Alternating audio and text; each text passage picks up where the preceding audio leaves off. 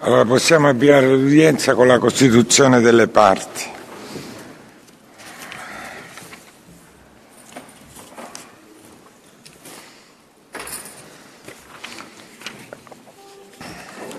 Filippone Roccosanto, mi date atto dal sito della presenza?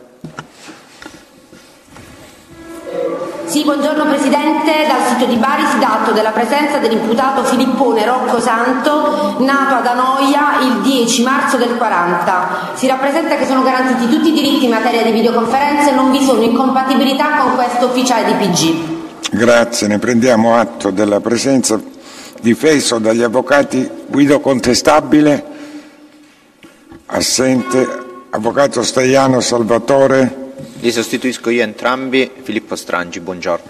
Sì, quindi per delega l'avvocato Filippo Strangio, giusto? Strangi. E per Graviano Giuseppe mi date atto della presenza dal sito? Buongiorno Presidente Terni, Graviano Giuseppe, nato 30 09 63 a Palermo, non ci sono compatibilità. Buongiorno e buon lavoro signor Presidente. Grazie. Prendiamo atto della presenza di Graviano, difeso dall'avvocato Giuseppe Aloisio. Eh, buongiorno, avvocato ad Algisa Di Benedetto per delega. Lei, io non la sento, eh? Avvocato ad Algisa Di Benedetto per delega. va bene, per delega. Avvocato ad Algisa Di Benedetto. Parte civile. Ministero dell'Interno e della Difesa presso Avvocatura Distrettuale dello Stato, Avvocato Luca Abbignente, Presidente. Presente? Presente, Presidente. Regione Calabria, Avvocato Michele Rausei, assente. Comune di Reggio Calabria, Avvocato Rizzi, assente. Comune di Rosarno, Avvocato Rosario Casella, Avvocato Giuseppe Basile per delega. per delega Avvocato Basile. Comune di Melicucco, Avvocato Leonardo Iamundo, Sempre io, per Presidente. delega Basile. Pasqua Vincenzo assente, Avvocato Massimiliano, Massimiliano Leanza, Ci sono io. Basile per delega, Bartolomeo Musicò assente, Avvocato Canzone, Giuseppe Canzone per delega per Basile. delega. Prossimi congiunti di Fava Antonino, Vicari Teresa assente, Fava Maria Antonia assente, Avvocato Giuseppe Basili presente, Anile Antonia assente, Fava Ivana assente, Fava Valerio assente, Avvocato Antonio Ingroia Giuseppe Basile per per delega delega. Basile. Prossimi congiunti di Garofalo Vincenzo, Scano Patrizia assente, Garofalo Guglielmo assente, Garofalo Andrea assente, Avvocato Antonio Ingroia per delega Sempre Basile. Garofalo Guglielmo deceduto, Giuca Giovanna deceduta, Garofalo Loredana assente, Garofalo Carmelo assente, Avvocato Gaia Maria Lamicela per io, delega Presidente. Basile. Va bene, avevamo previsto per oggi intanto l'esame del test che abbiamo sentito. Prima sentiamo il test di Stefano. Si può accomodare? Sì. Presidente, metto a disposizione della Corte la comunicazione eh, del DAP in relazione al computer consegnato a Graviano. Quindi, Quindi da qualche giorno è a sua disposizione, da quello che risulta sta ascoltando i file. Va bene, ne prendiamo atto e disponiamo l'allegazione al verbale d'udienza della nota oggi esibita dalla Procura Generale.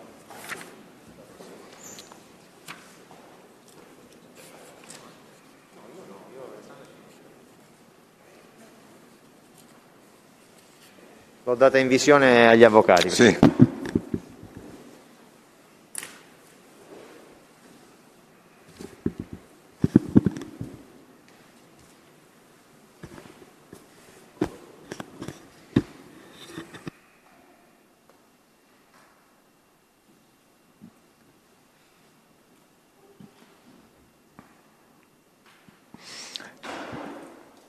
Diamo atto. Grazie, Procuratore Generale.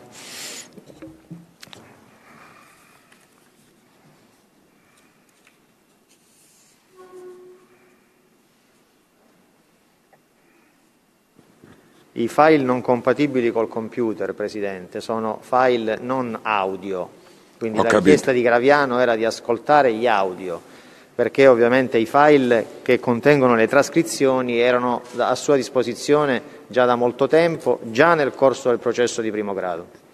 Va bene, d'accordo, quindi con questa Quindi precisazione... il problema che segnalano in quella nota è un falso problema, quindi il problema è l'ascolto degli audio e gli audio li sta ascoltando. Allora, il procuratore generale specifica che in relazione alla nota attestante la consegna del personal computer al detenuto Graviano Giuseppe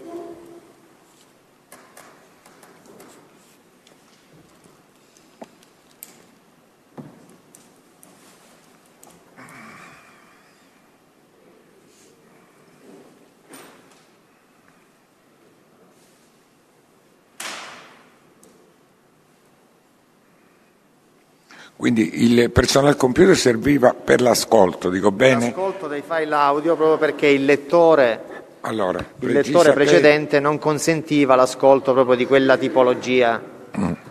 di... eh, Sì, un attimo, prego. la, Prego, tipo- la sì. la tipologia diciamo del... Procuratore generale, un attimo, Prego. sì? Prego. Presidente,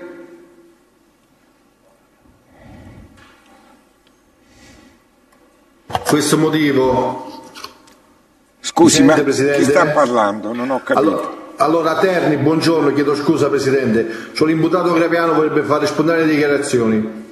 Sì, un attimo, però eh, me lo potevate dire dopo che avevo finito di parlare. Cortesemente, non mi interrompete. Me ne date eh, atto, lo so, lo so, avete fatto rispondo. bene, però fatemi completare un momento e poi me lo dite. Quindi bene, fare- bene, eh, chiede di fare dichiarazioni spontanee chi degli imputati? Graviano. Graviano. Va bene. Graviano. Allora, riprendiamo il discorso. Eh, in relazione alla nota, il procuratore generale precisa che eh, può dettare testualmente, procuratore generale, così facciamo che prima. le problematiche tecniche indicate nella nota relative al fatto Piano, che- piano, procuratore generale, che lo sta trascrivendo integralmente a verbale. mi passi quello per favore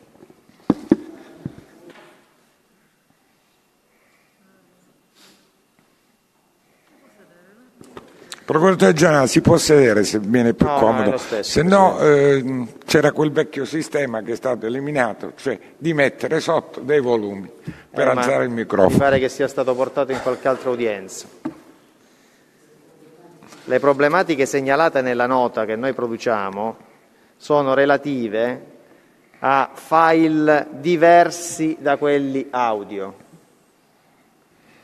E cioè ai file che contengono le trascrizioni.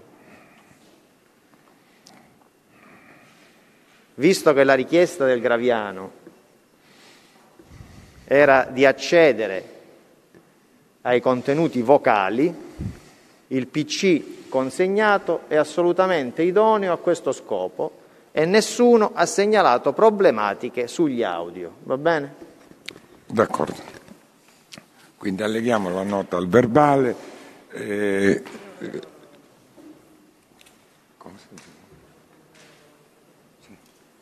Allora, eh, l'imputato Graviano Giuseppe ha chiesto di poter fare dichiarazioni spontanee e ha ammesso, prego,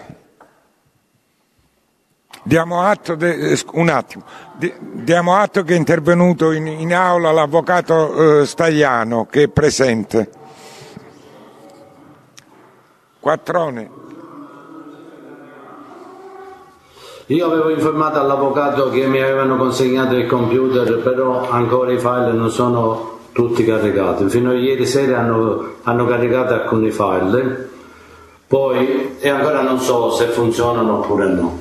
Poi io non ho avuto nemmeno le trascrizioni perché come ho sempre scritto alla signoria Orsa, come ho sempre dichiarato nelle dichiarazioni di- nelle dichiarazioni spontanee, loro si sono portate anche le book. Quindi io non ho letto niente, non ho letto da quando che facciamo il processo un- una dichiarazione di collaboratore di giustizia, un verbale dei collaboratori di giustizia io quando hanno presentato, eh, quando eh, la, hanno depositato la sentenza, non ho avuto la possibilità di, di leggere la sentenza di primo grado e, e sono, si sono chiusi i termini che io ho, ho scritto anche alla signoria Voce, dico se non mi fanno eh, leggere la sentenza, come fa l'avvocato a aggiungere motivi per i motivi che si doveva fare un ricorso d'appello? Quindi ancora io lo sto facendo, siccome quello che ha detto il signor procuratore, il signor procuratore generale non risulta non che lo dice lui, quello che gli trasmette non risulta verità. È sufficiente acquisire il registro perché a me quando mi viene consegnato le buche, che non mi viene consegnato più da anni, io filmo, quando mi viene consegnato un computer io filmo e il computer mi è stato consegnato venerdì sera scorso. E, e, e, solo ritirano sempre per caricare file perché ancora i file non sono caricati. Le buche non me l'hanno consegnato più. Adesso mi hanno detto che hanno portato le trascrizioni eh, sul computer, però io l'ho avuto venerdì sera. No, che in tutti questi anni che, che, è iniziato il processo io non l'ho avuto completamente, nessuna trascrizione perché nemmeno posso tenere cartacei in camera perché se lo sono portati tutti dicendo che c'è il rischio di incendio, invece del cartaceo devo tenere un digitale, un digitale. Adesso io mi volevo portare un computer qua e mi hanno detto no perché non si può portare. Ho detto scusi, mi hai mandato a processo senza documento processuale. Questa è la situazione che si... Sono cose semplici che si potrebbero risolvere, ma si incontrano sempre ostacoli, impedimenti a leggere i documenti processuali. Questo, io ancora i file non li ho potuti vedere perché ieri sera le hanno caricato una parte, lì registra 902 2023 quindi le potrò dare una risposta alla prossima udienza. Per il discorso che ho avuto le trascrizioni non rispondo a verità. La ringrazio, buona giornata. Allora, prendiamo atto delle dichiarazioni di Graviano eh, e, e, poi eventualmente il procuratore generale ci potrà fornire chiarimenti in relazione a quanto è esposto. Io i chiarimenti li posso fornire subito, non credo che al Graviano siano impediti i diritti garantiti a tutti gli imputati che in questo momento sono a processo sul territorio italiano. Quindi a noi risulta che l'unico impedimento era legato all'ascolto dei file audio. Quindi se l'avvocato di Graviano, intervenendo dopo di me, ci viene a dire che non ha interloquito con il, suo, con il suo assistito, mettendo a disposizione del suo assistito gli atti del processo, noi ne prenderemo atto. A noi questo non risulta. Quindi l'insistenza di Graviano era sugli audio. Grazie Procuratore Generale. Ci sono osservazioni da parte della difesa di Graviano? Eh, sì, Presidente. Ehm, I file e anche i documenti erano stati messi a disposizione del Graviano. Come il Graviano ha detto, poi lui non ha avuto la possibilità, perché non gli, danno, non gli consentono di avere sempre le book, di poterli leggere. Credo sia questo che il Graviano lamenta. Avvocato, ma lo stiamo apprendendo oggi, eh? No, perché le insistenze già... di Graviano erano legate all'ascolto dei file audio. Oltre all'ascolto anche alla consultazione dei documenti, Benissimo. come lui ha detto adesso. Bene, allora se c'è questo problema tecnico ci occuperemo anche di questo problema sì, grazie. tecnico. Ecco, dottore, magari. Grazie. Grazie, Procuratore Generale. Grazie, Avvocato. Eh?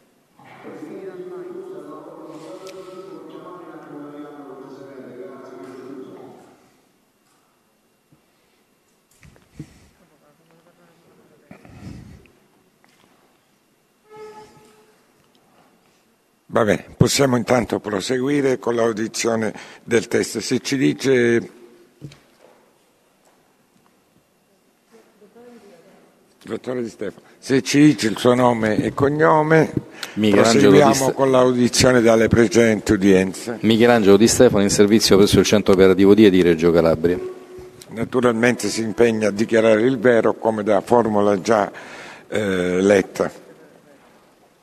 Il, le, era previsto per oggi esclusivamente il controesame da parte delle difese in relazione alla nota del 23 gennaio 2023 che riguardava l'autovettura in oggetto della quale lei ci ha riferito. E allora i difensori sono autorizzati a fare il controesame. Ma mi pare avesse, mm, Presidente, si tratta di questa nota, mi pare avesse già preannunziato il collega l'acquisizione.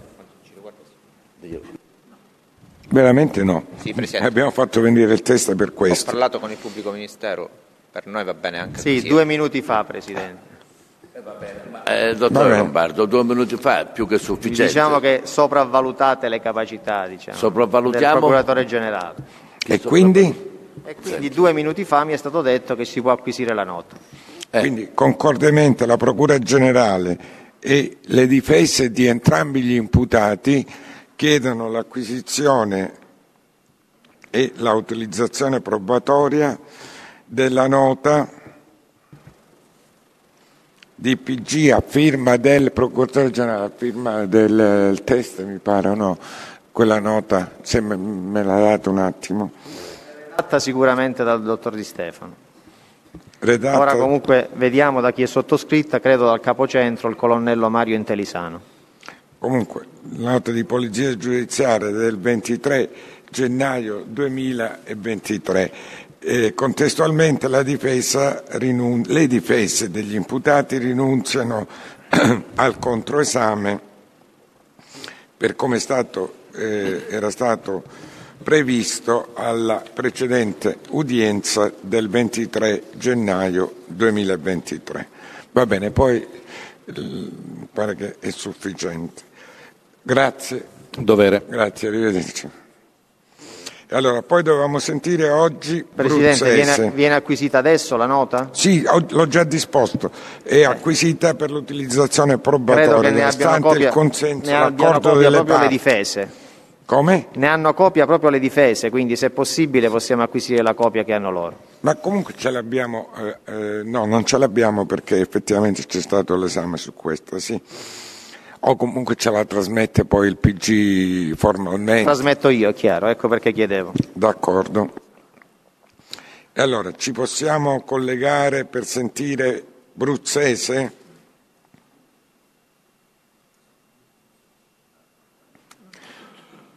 Che deve riferire sulla missiva di cui. Un attimo, un attimo, vedi.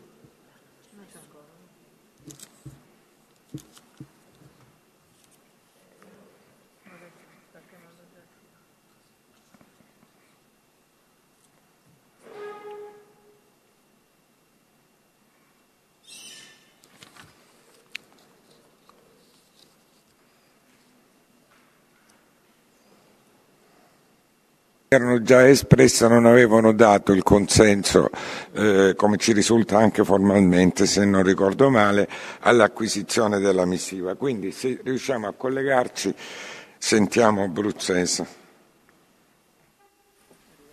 Buongiorno signor Presidente. Buongiorno. Dal sito riservato si dà atto della presenza del Bruzzese Girolamo nato il 2 giugno 63 a Rizzicoli. Si dà atto inoltre che sono osservate tutte le disposizioni in materia di procedimento di videoconferenza, che non vi sono incompatibilità nel procedimento tra il sottoscritto UPG e il test. È presente anche un regalo di fiducia di Angarelli Grazia. Il collegamento video audio video è funzionante, buon lavoro. Grazie, Eh, avete segnato il nome dell'avvocato? Va bene. E allora prego, procuratore generale, può avviare l'audizione di Bruzzese Girolamo Biagio. Mi autorizza a stare seduto, Presidente? Prego. Bruzzese mi sente? Sì. Buongiorno. Oggi il collegamento funziona bene perché lei in questa missiva ci scrive che a volte la voce non arrivava in maniera chiara. Mi sente chiaramente? Sì, adesso sì, la sento chiaramente, non so se voi mi sentite. Bene. Ci spiega le ragioni di questa missiva prima di entrare diciamo, nel merito delle ulteriori informazioni che lei ha fornito.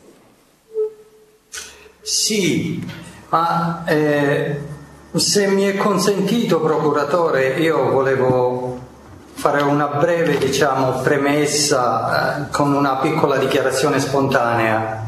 Prego. Mi oppongo, Presidente, non è un... No, no, non è una dichiarazione spontanea. Ma chiedo perdono, ho fatto non può la rendere- domanda. Lasciamo perdere quello che dice Bruzzese. Ho fatto io la domanda, il perché della missiva. Forza, Bruzzese.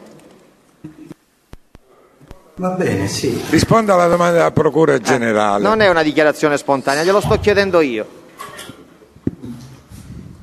Va bene, procuratore. Prego. Chiedo scusi. Bene, io eh, stavo attraversando un momento particolare, diciamo, in quei giorni che sono stato eh, sottoposto a, sia ad interrogatori che a, a contraesame. È ragione per la quale non stavo bene né fisicamente. Mm, Tutta la giornata sono rimasto a digiuno, la sera precedente eh, durante la notte mi sono sentito male, mi sono dovuto alzare, ho passato una notte diciamo difficile e praticamente io in queste condizioni diciamo fisiche che non sono al 100% come salute non, non sono riuscito a dare il 100% delle mie diciamo eh, capacità di ricordare di contestualizzare i miei ricordi nel, nel mio dichiarato. È vero che la sera, mentre ci spostavamo da un sito all'altro, eh, io mi sono sentito eh, male al punto tale che eh, sono intervenuti diciamo, il 118 e hanno fatto degli accertamenti lì sul posto con elettrocardio- elettrocardiogramma, il loco di cui si, si è riscontrato diciamo, la dottoressa che è intervenuta insieme ai, ai suoi assistenti ha riscontrato un attacco di gastrite acuta. So per eh, a dire del medico per accumulo di ansia e e stress e- Quindi, quindi perché ne Bruzzese, soffro anche di queste, di queste particolarità. Per mi, cui mi in scu- mi scusi non- Bruzzese, mi sente? Sì, mi Quindi dica. c'è documentazione sanitaria che attesta le problematiche che lei ci ha segnalato? Sì, procuratore. Ed è in suo possesso questa documentazione? Qui sul posto no, procuratore. No, ma è in grado di produrre questa documentazione? Certo, sì. Bene, allora acquisiremo poi questa documentazione. me. Prego, prosegua. Nel momento in cui mi sono sentito male c'era la scorta con me. Va bene, prosegua. Tant'è vero che si optava di tornare indietro, diciamo, o, o ricovero in ospedale. Però io per l'impegno processuale mi sono assunto la responsabilità e gli ho detto no, proseguiamo, andiamo avanti finché poi sì. così è successo. Va bene. Quindi, per effetto diciamo, di quella condizione non ottimale, lei dice oggi ho diciamo, omesso, dimenticato, non ho puntualizzato una serie di circostanze a mia conoscenza, è così? Sì, procuratore, ma anche perché la sua voce arrivava frammentata ed io non, non sono riuscito a capire nel concreto o quale era diciamo, la domanda, per cui eh, ho dato risposte magari sbagliate. Va bene. Senta, io ho la sua missiva qua davanti, ho selezionato sette argomenti che lei indica e porta alla nostra attenzione. Il primo di questi argomenti sarebbe riferibile alla responsabilità sul rapimento Moro. Mi vuole dire che cosa lei sa di questo accadimento, da chi ha preso le circostanze che è in grado di riferire e tutti i particolari a sua conoscenza? Bene, quando siamo entrati in argomento con eh, mio padre Teodoro Crea, io gli chiesi se l'andrangheta avesse avuto un ruolo nel rapimento Moro e loro mi confermarono di sì. Quindi il ruolo dell'andrangheta nel rapimento Moro ce l'ha avuto.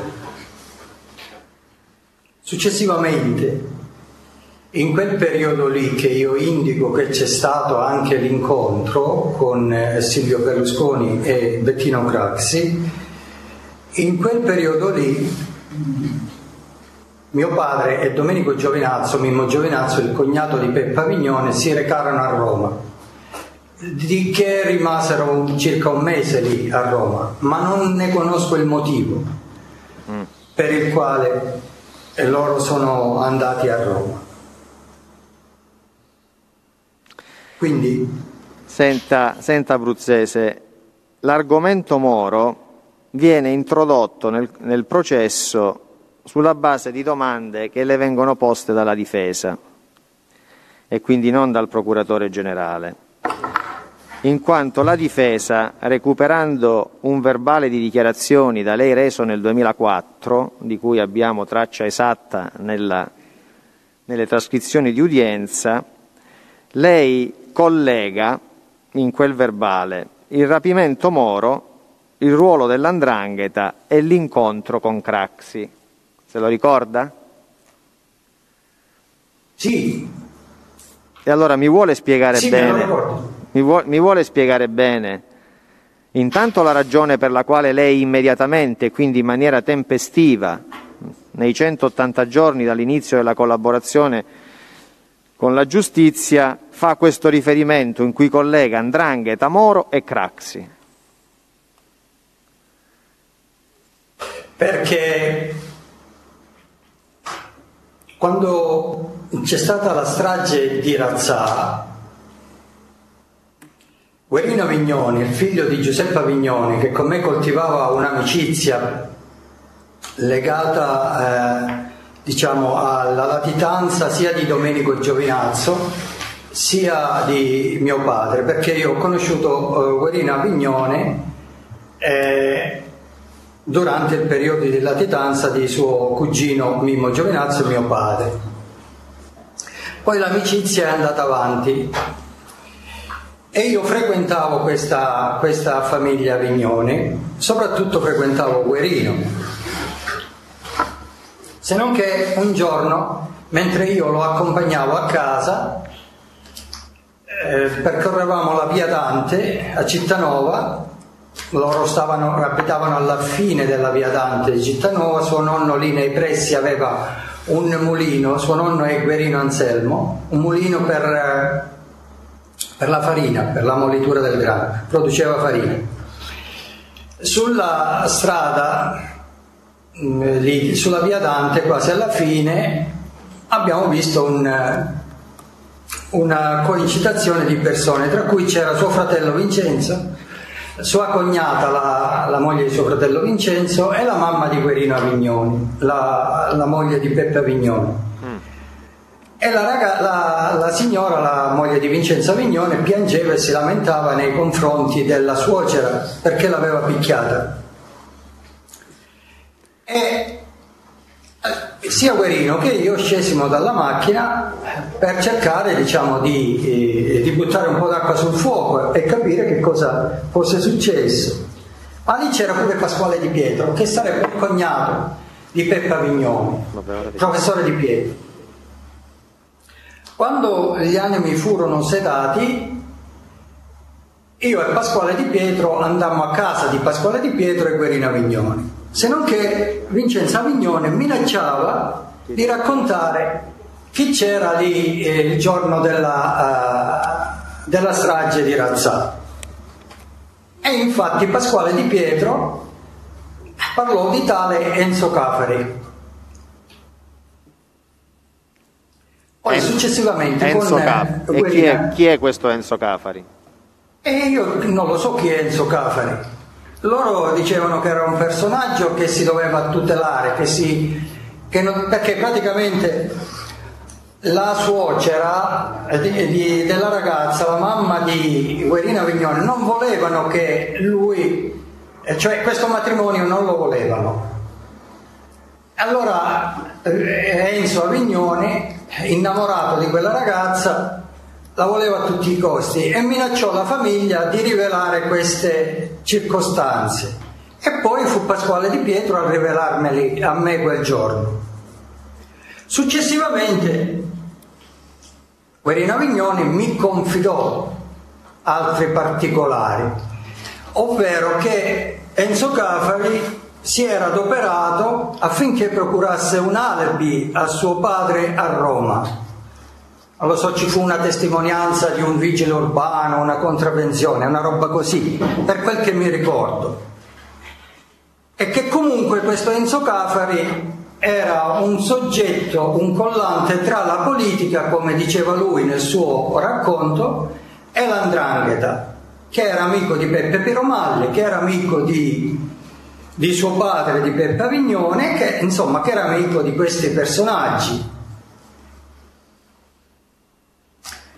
E che tuttavia nel racconto lui stesso mi confermò, anche Guerina Avignoni, che questo Enzo Cavari in un certo qual modo ha avuto anche lui un ruolo dentro il rapimento Moro.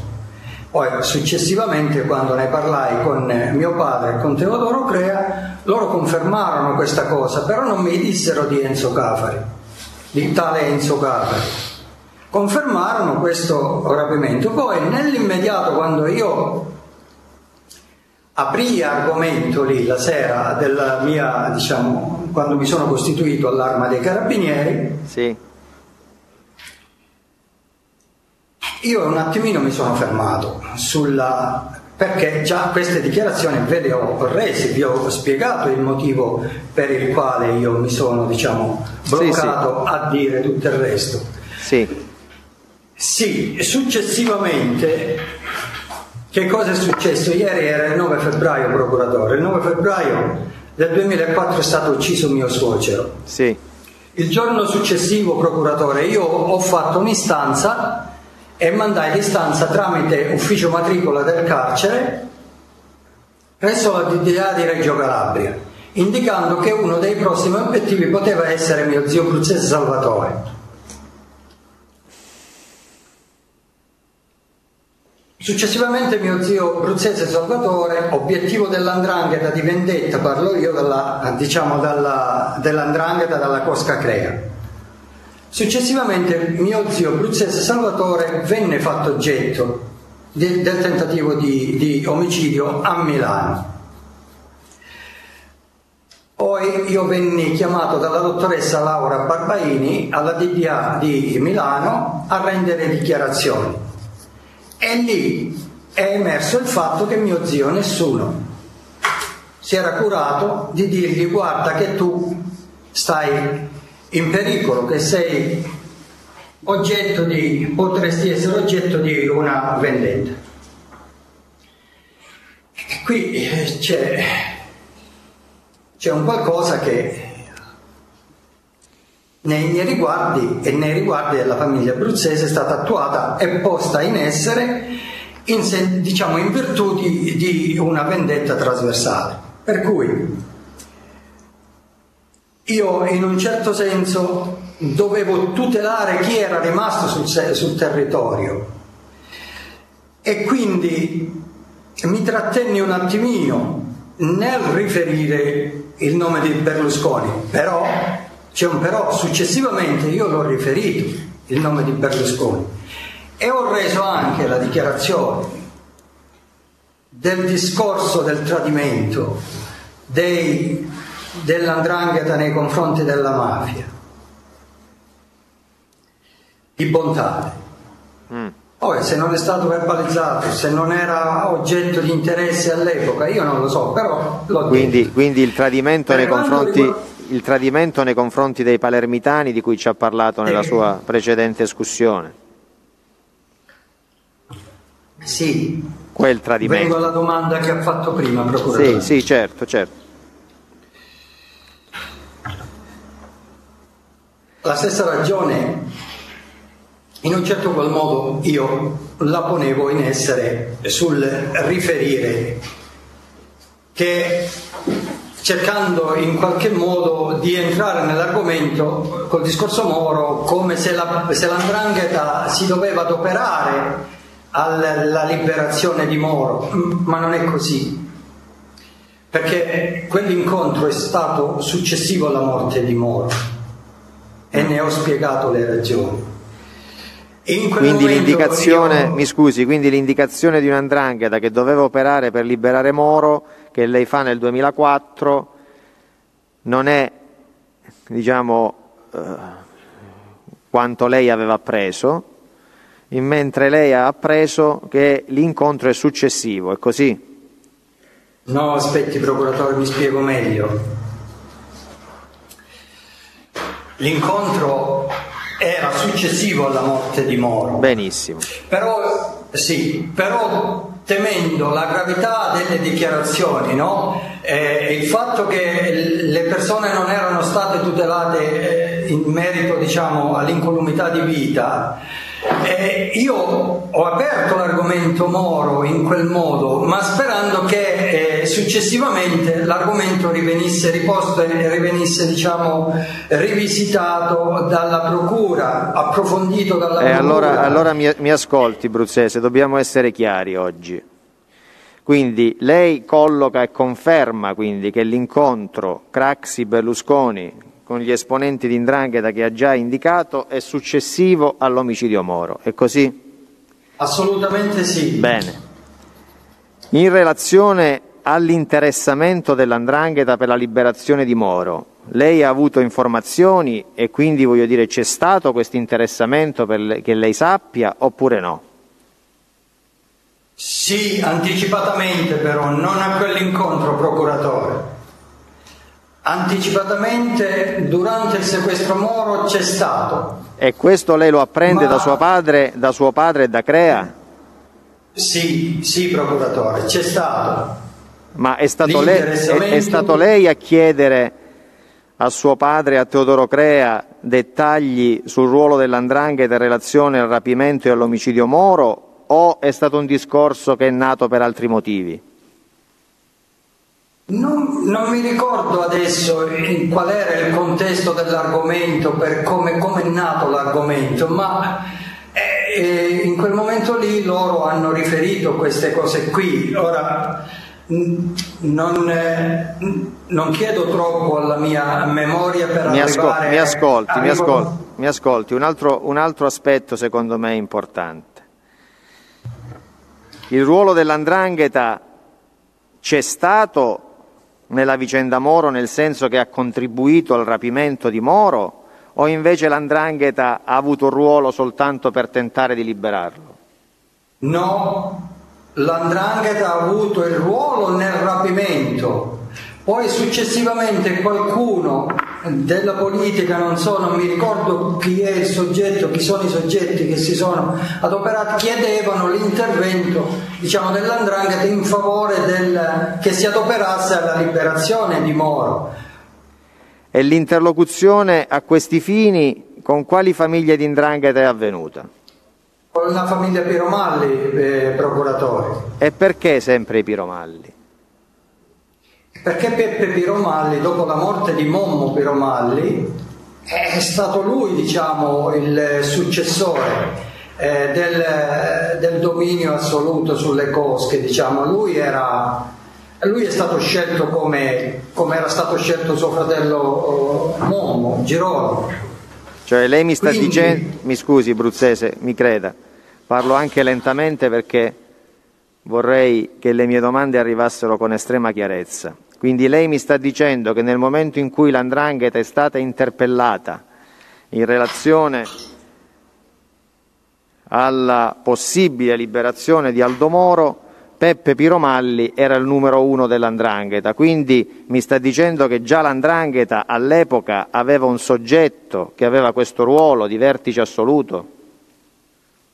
Sì, ce l'aveva con Momo Piromalli ce l'aveva con Mommo Piromalli. Quindi contattarono lui, contattarono lui, in questa veste, non diciamo come, titola, come, come vertice di una delle tante famiglie. Ma lui, Peppe Piromalli, era amico di, di tale Cortese, Carmelo Cortese se non sbaglio, sì. si chiamasse, che per come mi disse mio papà e Teodoro Crea, il Carmelo Cortese era amico di, di Ciogelli e per come ragionavano loro, diciamo il suo ragionamento era che Peppe Piromalli in quel momento giocava con due mazzi di carte, ovvero praticamente eh, da un lato voleva apparire come se fosse stato lui uh, ad interessarsi alla liberazione di Aldo Moro, mentre lui aveva avuto un ruolo specifico nel rapimento Moro. questo loro eh, glielo criticavano, diciamo, in questo senso qui veniva criticato. Ma mi perdoni, eh, mi, mi perdoni da- Bruzzese, ma perché secondo lei è incompatibile il fatto che abbia avuto un ruolo nel rapimento e poi sia stato invece interessato per liberarlo? Opposizione. È la richiesta di una valutazione. Allora, eh, Quindi lei Bruzzese ha avuto informazioni, voglio dire, che hanno fatto detto, emergere l'incompatibilità tra i due ruoli, mi perdoni. Io non ho sentito. Non si sente. Lei nel, nel discutere della vicenda Moro con suo padre e con Teodoro Crea ha avuto indicazioni da queste persone sull'incompatibilità tra il fatto che l'Andrangheta avesse rapito Moro e fosse stata interessata da- alla sua liberazione? Opposizione palesemente suggestiva. Assolutamente no. allora, se comunque il collaboratore ci vuole fornire le notizie che ha preso in relazione al sequestro Moro, cioè quando lui dice che l'andrangheta era coinvolta nel sequestro di persone, in concreto e specificamente che cosa sa? Ecco, e se ce lo vuole riferire. E poi in relazione alla liberazione che cosa sa?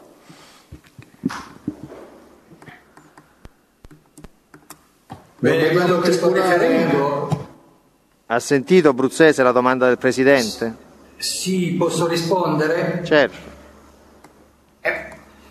Ma eh, la- il loro argomento era eh, beh, se Peppe Piromalle ha avuto un ruolo nel rapimento, non è che si poteva ri- liberare Moro, Moro per volontà di, di Peppe Piromalle. Allora, non è lei ci ha Peppe detto che la Drangheta si è interessata, è stata interessata comunque nel rapimento, nel, nel Qui rapimento. l'audio arriva frammentato, io non ne sentiamo niente.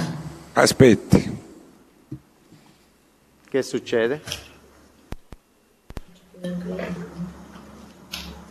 Dica che è stato interrotto anche il collegamento video e che non- noi non vediamo niente e sentiamo voce frammentata. Sì, anche qui da- dal sito di Bari. Terni.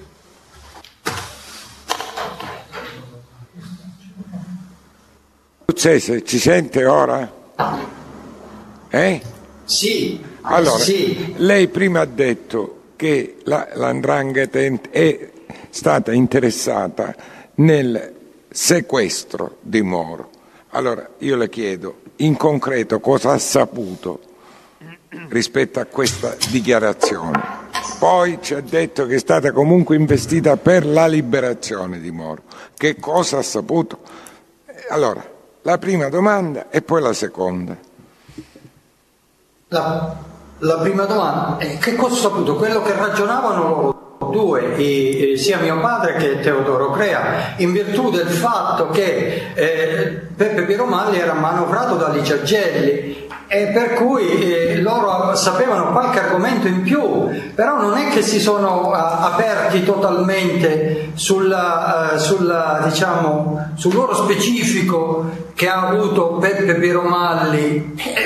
Quindi se loro dicevano ma se, eh, non è che il suo ragionamento era questo, ma è che era possibile, lui er- erano due, le- come intendevano loro, erano due fasce politiche, una che si era adoperata per il rapimento e un'altra che si era adoperata per eh, la liberazione, quindi eh, c'era un, eh, un gioco a scala bilaterale come intendevano loro, questo era il ragionamento che loro facevano.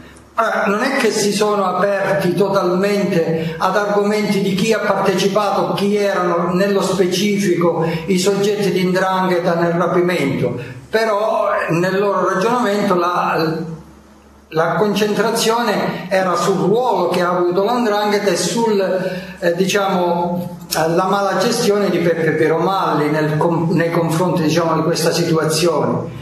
Questa era, diciamo, che poi non è che io ho vissuto questi momenti, diciamo, di, di- dal, dal 78 al 79 all'80 perché sentivo i loro argomenti, questi sono successi dopo questi, questi ragionamenti qua che loro hanno fatto. Non so se la mia risposta è esaustiva.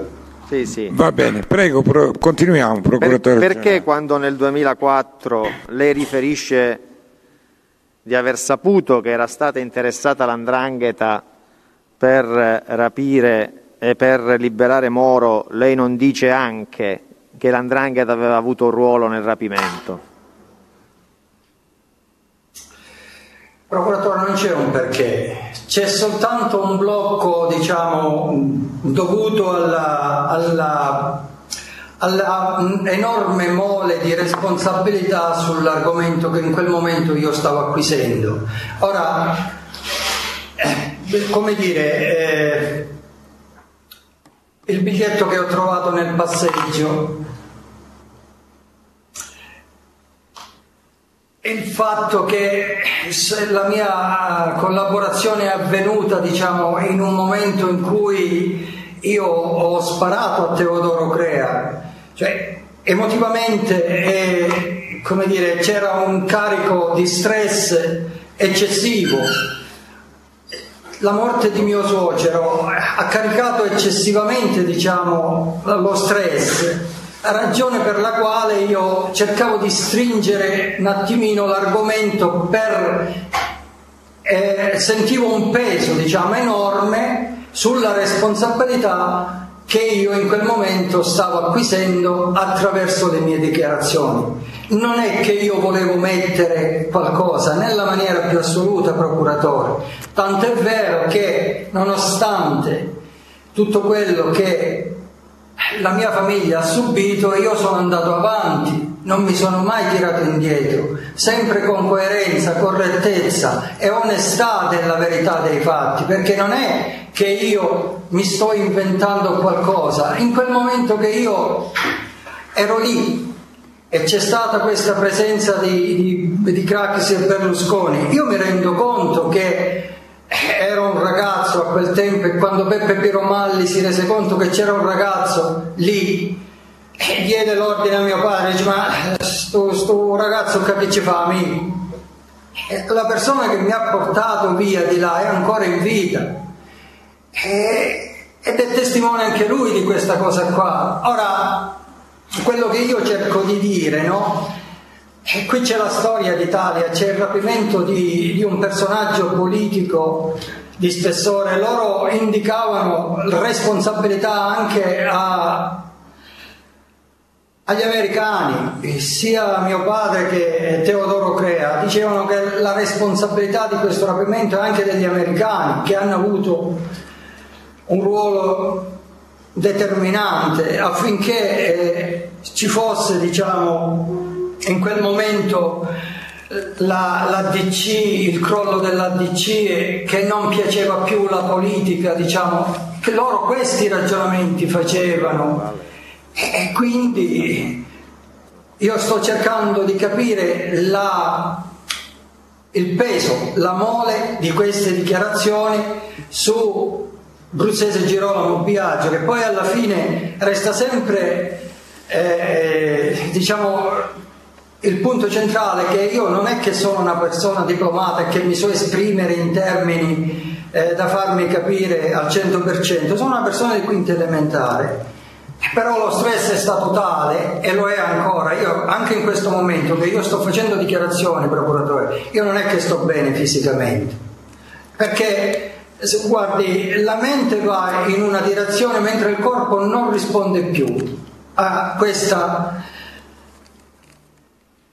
a questa situazione, per cui mi rendo benissimo conto che le mie dichiarazioni sono importanti per contestualizzare la verità di un percorso storico che ha coinvolto gli italiani e la politica italiana. E questi sono i fatti. Sarà stato questo, e lo è stato, il motivo per il quale io stringevo, però nessuno può dire in questo momento Bruzzese non ha fatto la dichiarazione perché voleva omissare, perché io non volevo omissare niente. È stato chiaro, Bruzzese. È stato, è stato chiaro, è stato chiaro. Le chiedo ancora, in questo verbale del 23 marzo 2004, lei prima di introdurre riferimento alla richiesta che l'Andrangheta aveva ricevuto per la liberazione di Aldo Moro, dice che c'era connessione tra massoneria e politica. Sì, procuratore. Perché, diciamo, un attimo prima di parlare di della vicenda Moro lei fa questo riferimento? Perché io devo chiarire il fatto che Momo Piromalli, Peppe Piromalli, Pino Piromalli, Nino Pesce, Nino Mammoliti e qualcuno degli Alvaro avevano una doppia affiliazione con Drangheta e mafia. Ma per Che, co- che cosa vuol dire? Che cosa, Crea, Bruzze- Bruzzese, che cosa vuol dire? Oh, in questa missiva che lei manda, oltre ai nomi che lei ha già fatto, intanto fa anche il nome di Paolo De Stefano. Sì, È esatto. corretto? Bene. Sì, che sì, cosa vuol dire avere la doppia affiliazione? Cerchiamo di approfondire le affermazioni che lei fa. che questi soggetti erano un ruolo di vertice apicale anche nella mafia e praticamente per quello che sono le mie conoscenze sull'argomento. L'ondranghetista Mommo Piromalli che era al tempo era il capo di tutta la, l'andrangheta del, del territorio reggino della provincia di Reggio Calabria. Eh, era tenuto molto in considerazione dai palermitani, da mh, Bontate e da, da Badalamenti e quindi avevano ricevuto la doppia affiliazione, per cui negli argomenti nodali, diciamo, delle decisioni nodali, eh, ne- ma queste erano cose che loro facevano non in presenza di tutti, ma nelle loro riunioni, nelle loro decisioni, e loro venivano tenuti in considerazione gli indranghetisti, anche perché, vede il procuratore, Paolo Romeo aveva un ruolo di massoneria per quello che mi ha specificato Teodoro Crea. Quindi Paolo Chi è Paolo Romeo? a Mi scusi. A quale Paolo Romeo fa, Romeo. fa riferimento, visto che Romeo è il cognome più diffuso della provincia di Reggio Calabria? Ma lo era diffuso anche al tempo quando a me mi venivano fornite queste Eh. conoscenze. Di quale. Paolo Romeo sta non parlando? era diffuso come lo è adesso, ma in, in, eh, contesto andrangheta si conoscevano certi, certi diciamo, soggetti. E quindi di quale Paolo Romeo sta parlando? Paolo- l'avvocato Paolo Romeo, Reggio Calabria, Ho capito, prego. Dica. vicino a, a- Giorgio De Stefano, l'avvocato De Stefano, era persona vicina a Paolo De Stefano. Anche Teodoro Crea era molto vicino a Paolo De Stefano, come lo era Peppe Piromalli. E quindi io tutte queste conoscenze le acquisisco da Teodoro Crea. E Mi, quindi scu- mi scusi, che mi scusi, riferisce- il fatto che quindi i soggetti che lei ha appena indicato avessero la doppia affiliazione e lei dice fossero anche al vertice di Cosa Nostra, è questa la ragione per- che spiega il fatto che i palermitani erano venuti qui dai calabresi a chiedere il loro sostegno nella potenziale, nella futura guerra ai corleonesi? Assolutamente sì. E quindi erano tenuti a farlo per quello che lei fa, per quello che lei sa? C'era un passaggio obbligato, Sì. quello di venire a chiedere ai calabresi? Certo, era un passaggio obbligato. L'operazione congiunta la chiamò Badalamenti. L'operazione congiunta la chiamò Teodoro Crea e Nino Gangeli. Operazione congiunta. Operazione congiunta, va bene. Sen- Sì. Senta un attimo, poi ci torniamo su questo specifico argomento. Nella missiva che lei invia, lei precisa anche eh, di un episodio che avviene a Roma nei pressi del ristorante Il Fungo. Sì, dove sono stati fermati in un fermo di, di- di PG o di, di carabinieri, non ricordo bene, e che comunque vennero fermati Paolo De Stefano, Pasquale Condello, Peppe Piromalli, eh, Saverio Mammoliti e un esponente della, della eh, banda della Magliana di, di Roma. Quando io chiesi contezza a, a Teodoro Crea di questo fatto, lui lo contestualizzò nel preliminare del rapimento Moro. Mi scusi, ma lei in che occasione chiede contezza della riunione del fungo? Durante la latitanza del 1996, 95-96 che trascorrevo con Teodoro Crea. E perché? perché e le spiego il perché. Mm. Ci fu la collaborazione di, di un catanese, un malpassone, Mm. E una mattina ci venne, dopo questa collaborazione, ci venne a trovare durante la nostra latitanza eh, tale Violi, Lei nome, Che cogn- sarebbe il cognome- lei nome e cognome della persona soprannominato Malpassoto lo conosce?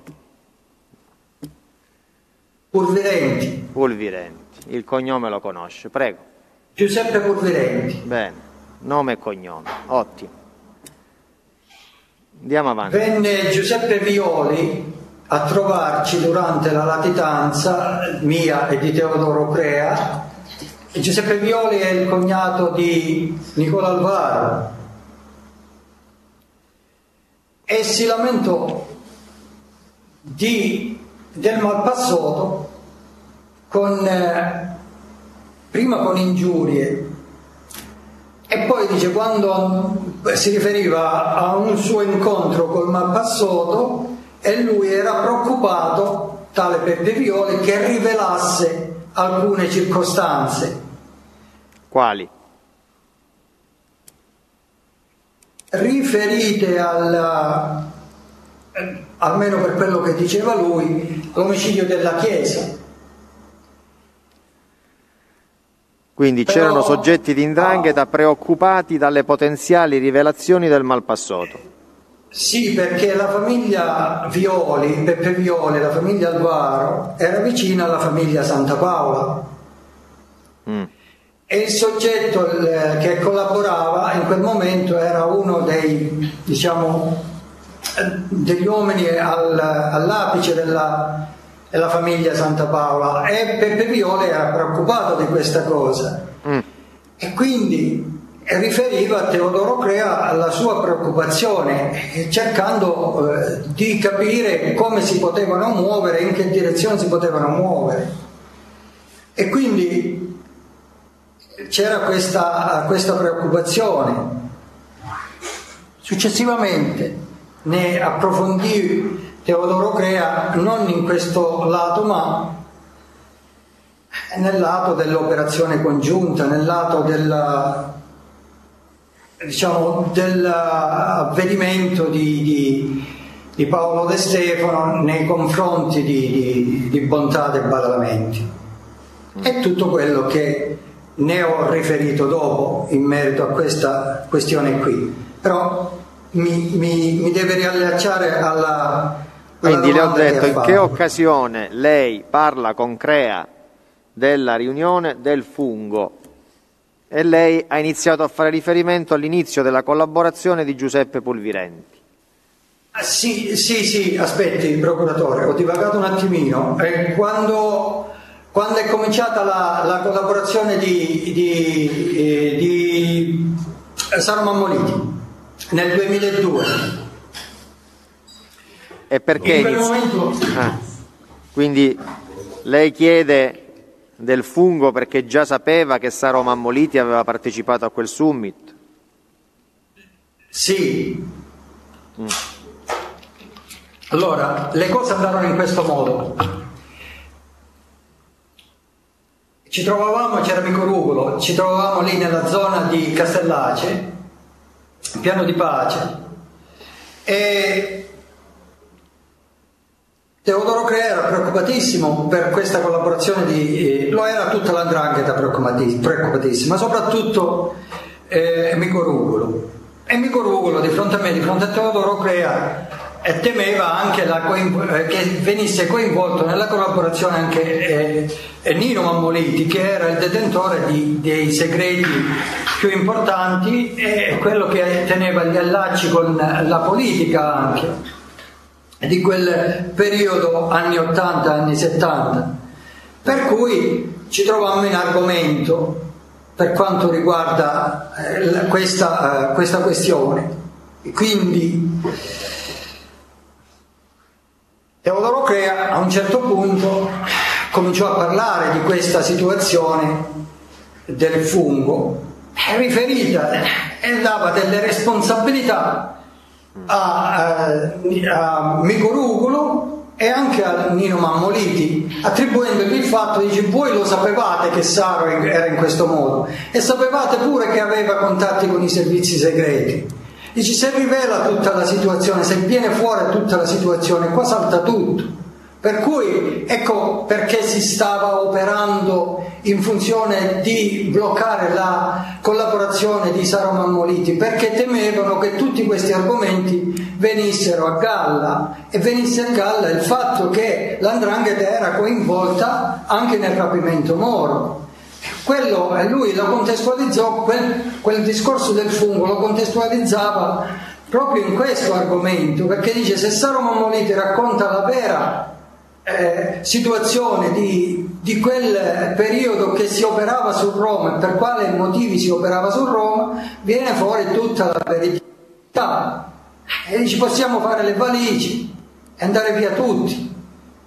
Quindi loro si attivavano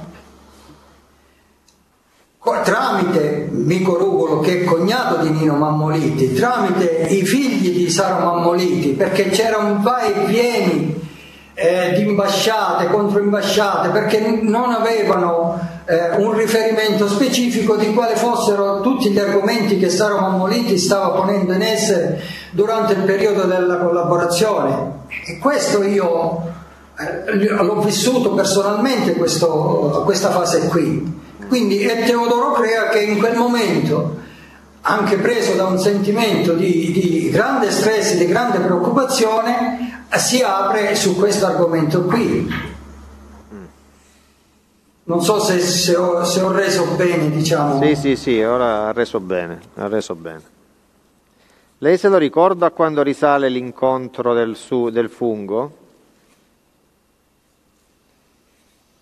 Il summit del fungo, lei ricorda quando è avvenuto? Mi pare che nella prima metà degli anni 70.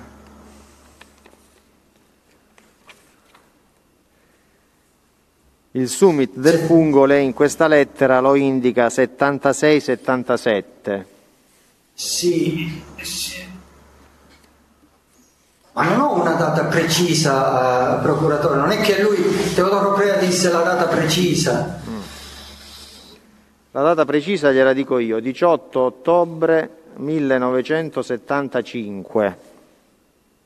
Perfetto, e se è così confermo questo, procuratore. E quindi il 18 ottobre del 1975, per quello che lei apprende da Teodoro Crea, e da Mico Rugolo. E da Mico Rugolo. C'era anche Mico Rugolo quel giorno. Si parlava già di rapire Moro?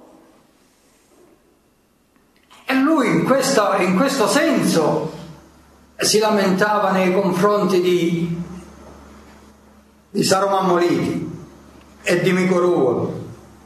Sapeva, dice tu hai contatti con i, tu Saro Mammoliti, riferito a Saro Mammoliti, tu hai contatti con i servizi segreti, tu sapevi, tu eri a conoscenza e tu Nino Mammoliti, tu Micorugolo, lo sapevi pure. Perché la situazione adesso sta sfuggendo di mano? Che cosa sta succedendo? Mi dovete parlare chiaro, perché qua saltiamo tutti.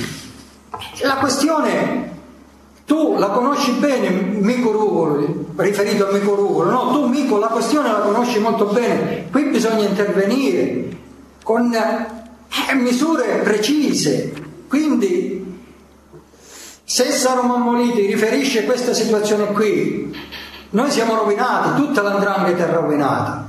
Ho capito. Cioè, quindi era, lui... era questo il contenuto del loro discorso. Sì, perché poi Teodoro Crea Dice io ho preso le difese della famiglia Mammoliti e voi mi combinate questa, questa gaffa enorme. Qui la nave si affonda, affonda tutta e si trascina perché poniamo che altri collaboratori che sanno queste cose, viene fuori tutto quanto, qua siamo rovinati, questo contestava amico Rulo e amico Rulo quasi si metteva a piangere, era disperato sulla situazione, tant'è vero che poi ci, ci, ci distaccammo dalla famiglia Rugolo e i piani erano per intervenire a bloccare la eh, collaborazione di Saro Mammoliti si dovevano uccidere i figli di Saro Mammoliti, Francesco Mammoliti. E lui aveva affidato a me, Teodoro Crea, questo compito, a me, a suo figlio Giuseppe, ai suoi parenti più intimi. Lui ha giurato, ha fatto un giuramento sul suo nipote, il figlio di suo figlio Giuseppe, ha giurato sulla sua testa che si vendicava contro la famiglia Mammoliti.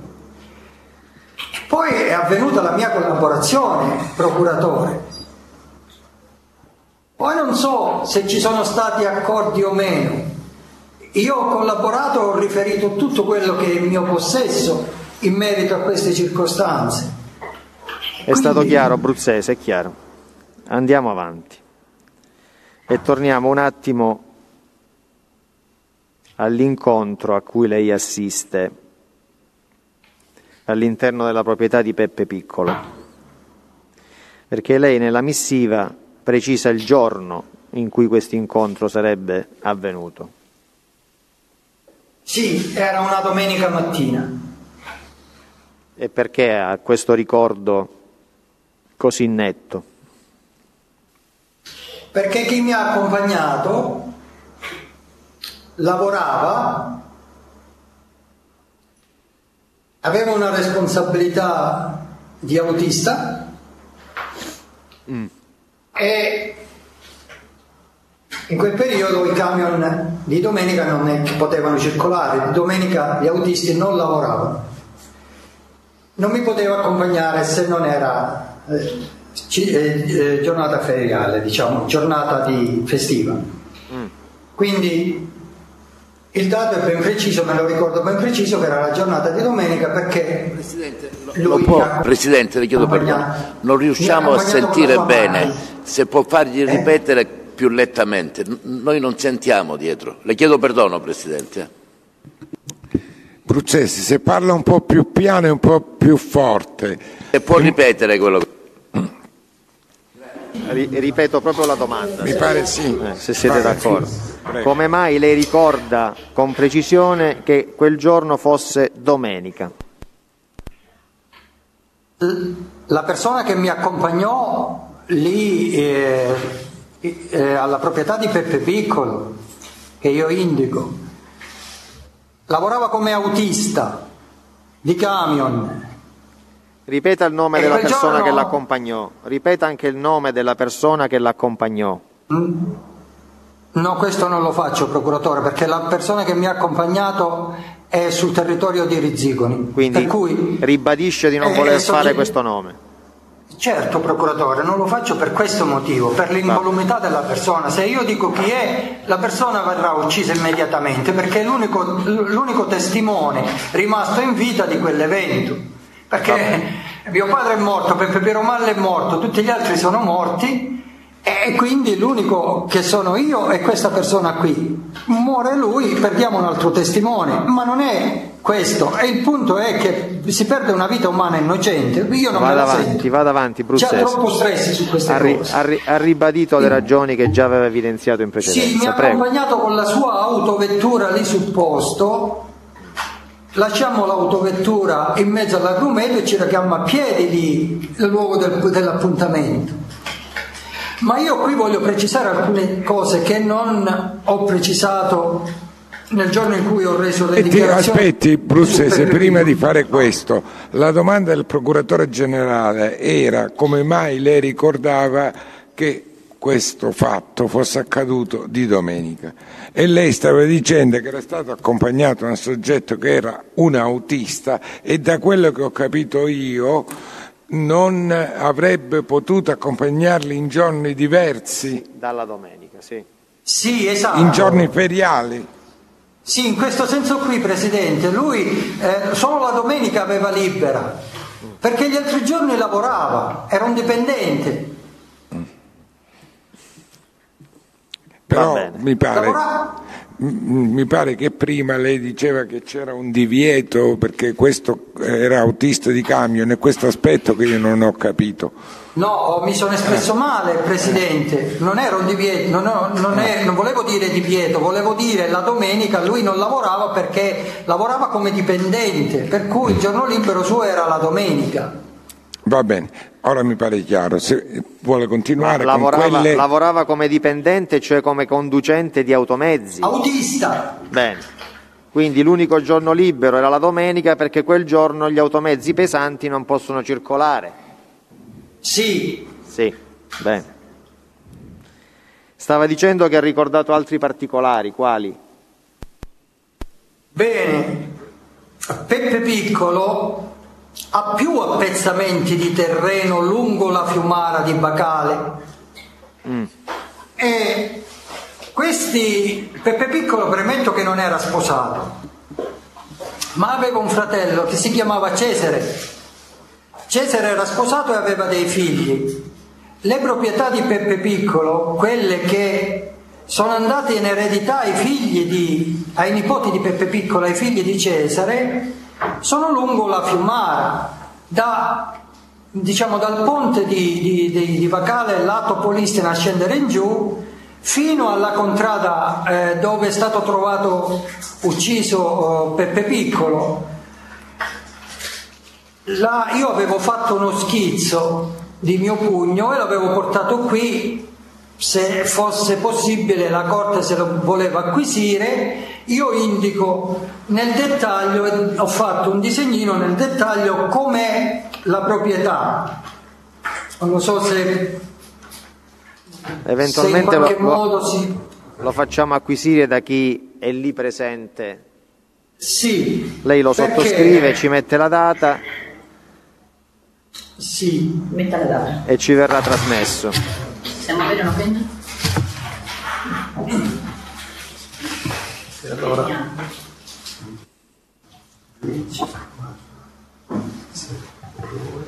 Perché è importante questo schizzo?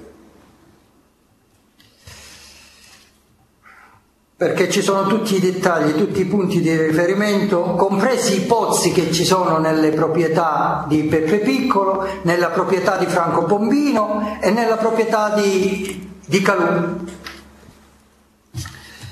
Mi perdoni. Un attimino che firmo per cortesia Prego. il documento.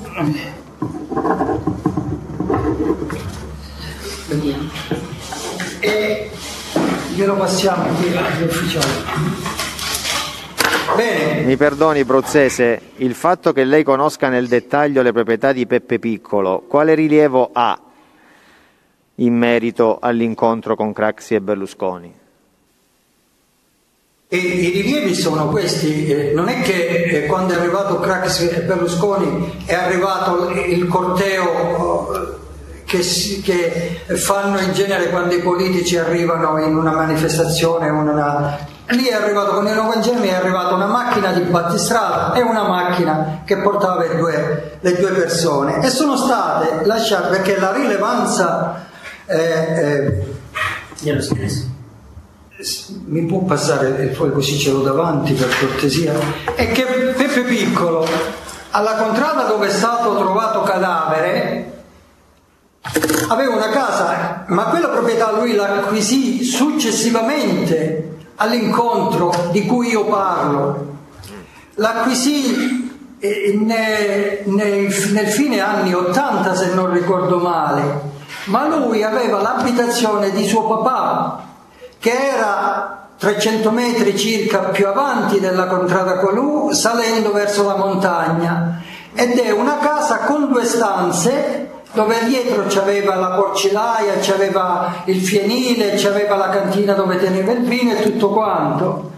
Le macchine sono rimaste lì alla casa di Francesco Piccolo, che era custodita da un cancello di color arancione, arancione rosso, se non ricordo male, Poi da lì sono, sono venute a piedi attraversando la proprietà che andava verso Calù, ma non sono arrivati a, a Calù, sono, si sono fermati al centro della proprietà sotto il, il limite della località Vittoria della proprietà del Duca, vicino alla proprietà di, di, dell'avvocato Franco Bombino.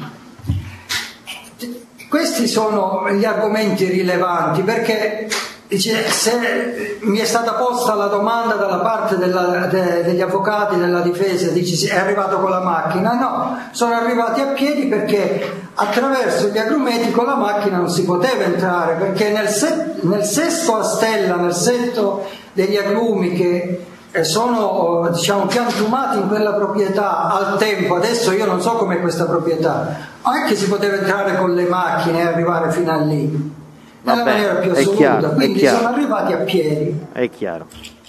Altri particolari su quell'incontro?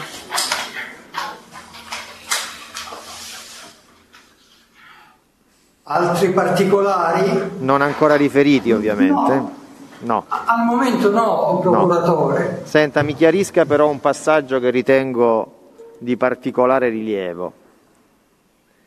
Lei rispondendo alle nostre domande nelle precedenti udienze in cui è stato ascoltato, ha dato una spiegazione rispetto diciamo, all'oggetto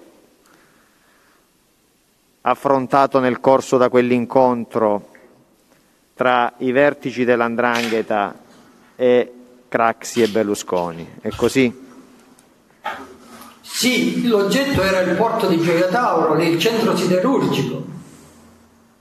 E la, diciamo, l'argomento nodale di quell'incontro era che si, si doveva, diciamo, Roma, Centro Italia doveva riversare eh, somme abbastanza notevoli affinché si avviasse diciamo, il progetto del quinto, il quinto centro siderurgico che poi non è stato realizzato, è stato realizzato il porto di Gioia Tauro, ma lì eh, c'era da contestualizzare la spartizione, gli argomenti diciamo, di chi doveva, le ditte che dovevano lavorare, che non dovevano lavorare eh, come dovevano essere divisi i soldi, che percentuale andava all'andrangheta, che percentuale andava alle ditte.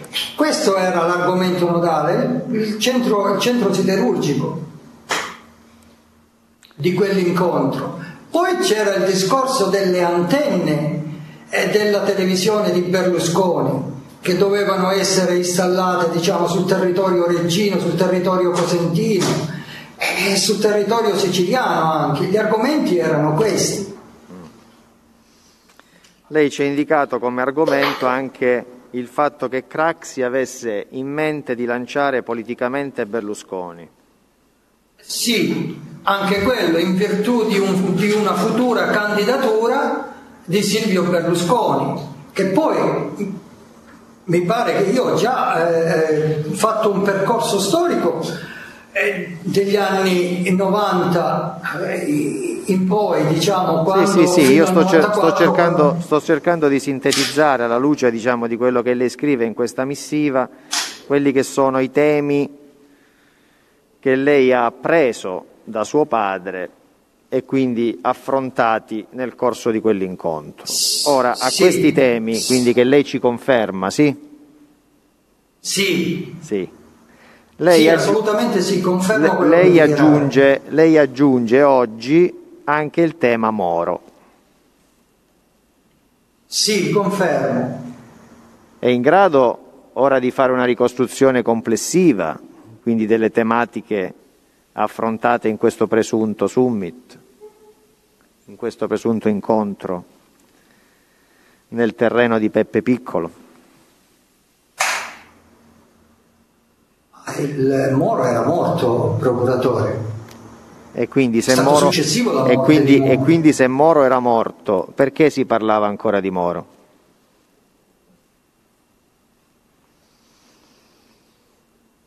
Lì, in quel... ma io non ho assistito, procuratore, io non ho assistito all'argomento.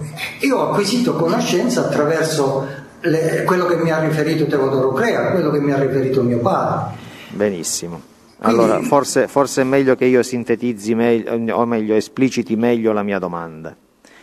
Lei nel verbale del 2004 riferisce in relazione all'incontro con Craxi dicendo che in quell'incontro si era parlato della liberazione di Moro, va bene?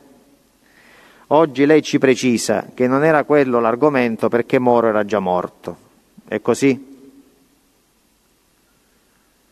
Sì, procuratore, Sì. è così. Quindi c'è da precisare ulteriormente, in quell'incontro con Craxi e Berlusconi si parlò di Moro o no?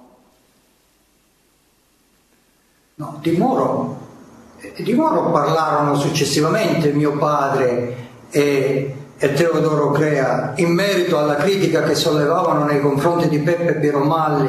Ho capito, questo l'ho capito Bruzzese, dis- però mi deve seguire. Noi abbiamo qui di fronte un suo verbale del 23 marzo 2004, in cui lei testualmente dice sono quello, credo di essere in grado di dire perché è venuto Craxi in quel periodo lì per incontrarsi, diciamo con questi esponenti indranghetisti.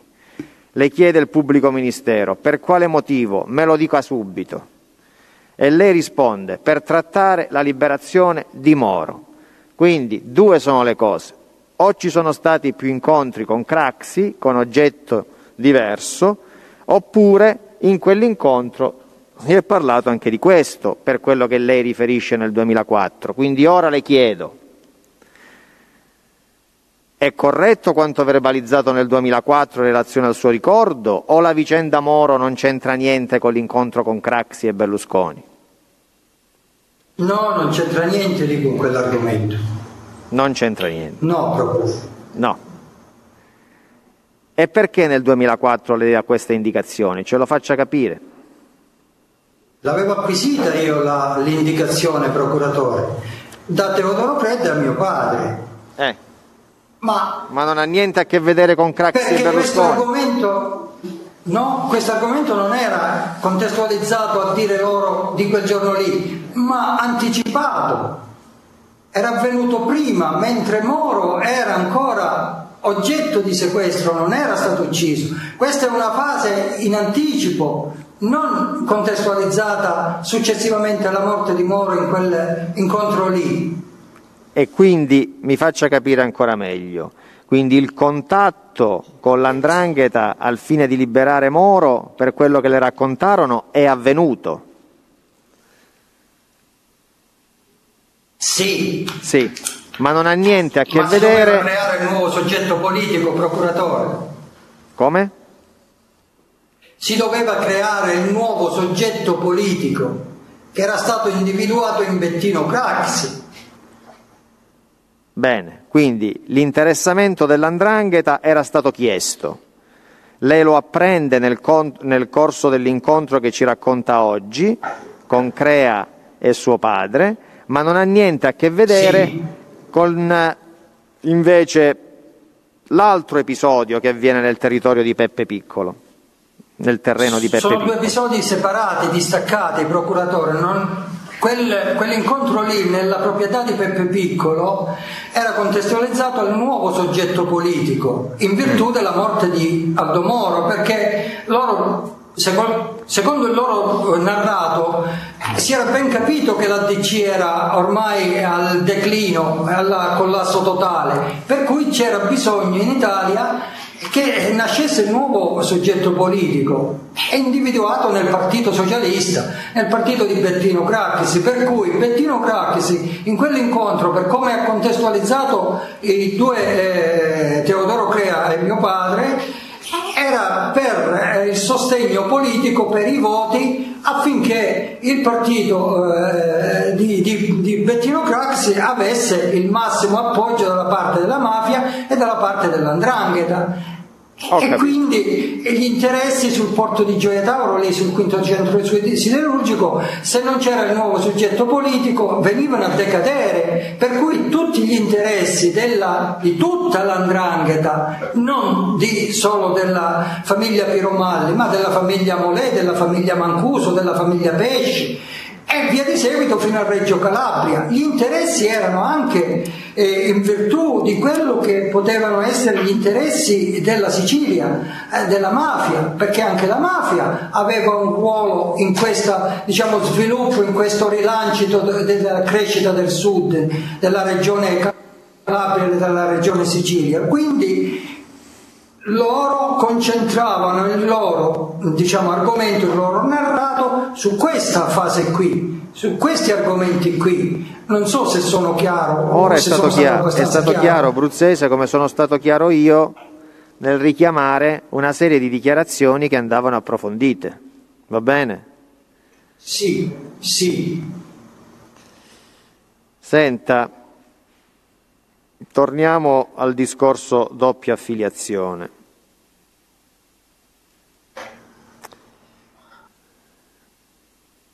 Gli unici soggetti che lei diciamo, ha in qualche modo sentito nominare in relazione a questa doppia affiliazione sono quelli che ha già indicato oggi?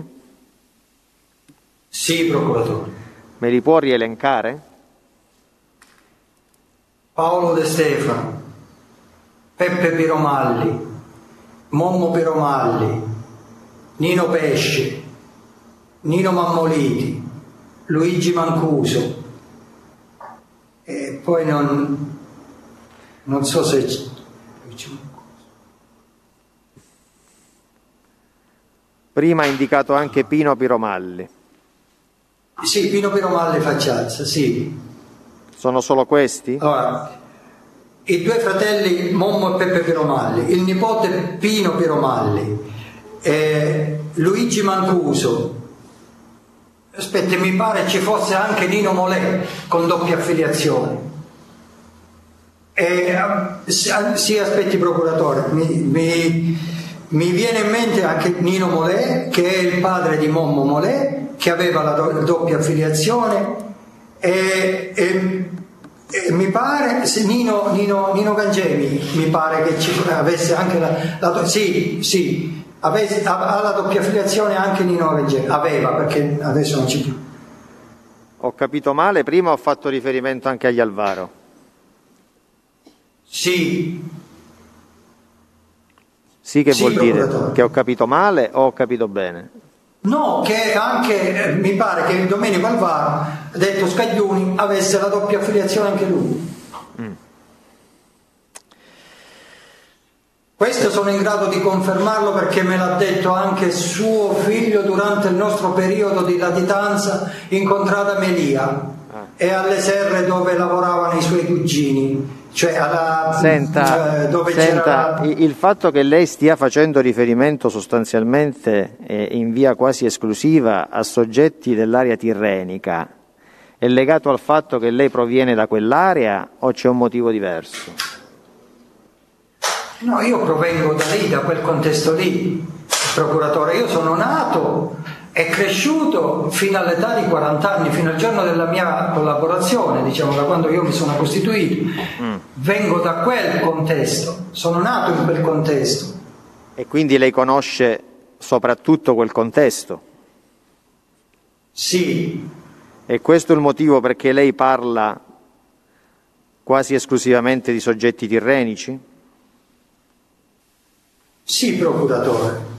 Sì. Però sapevo anche che la parte della Ionica, le famiglie della Ionica erano legate alle famiglie della parte tirrenica, ovvero in Irta, i, i Commisso, gli Strangio, i, i Morabito e via via di seguito quelle famiglie lì, su quel ramo lì, Barbaro, erano tutti legati perché procuratore io vi confermo che l'andrangheta è un corpo unitario non è fa, eh, Mico Oppidisano era il capocrimine l'andrangheta è il crimine ah, questo il crimine è un, un, regolatore è come il sale nel lievito diciamo è lo stabilizzatore sì. eh, della, delle regole dell'andrangheta però questo è, è quello che si conosce diciamo che oggettivamente oggi è a conoscenza di tutti quanti, però io per esempio so bene che c'è cosa nuova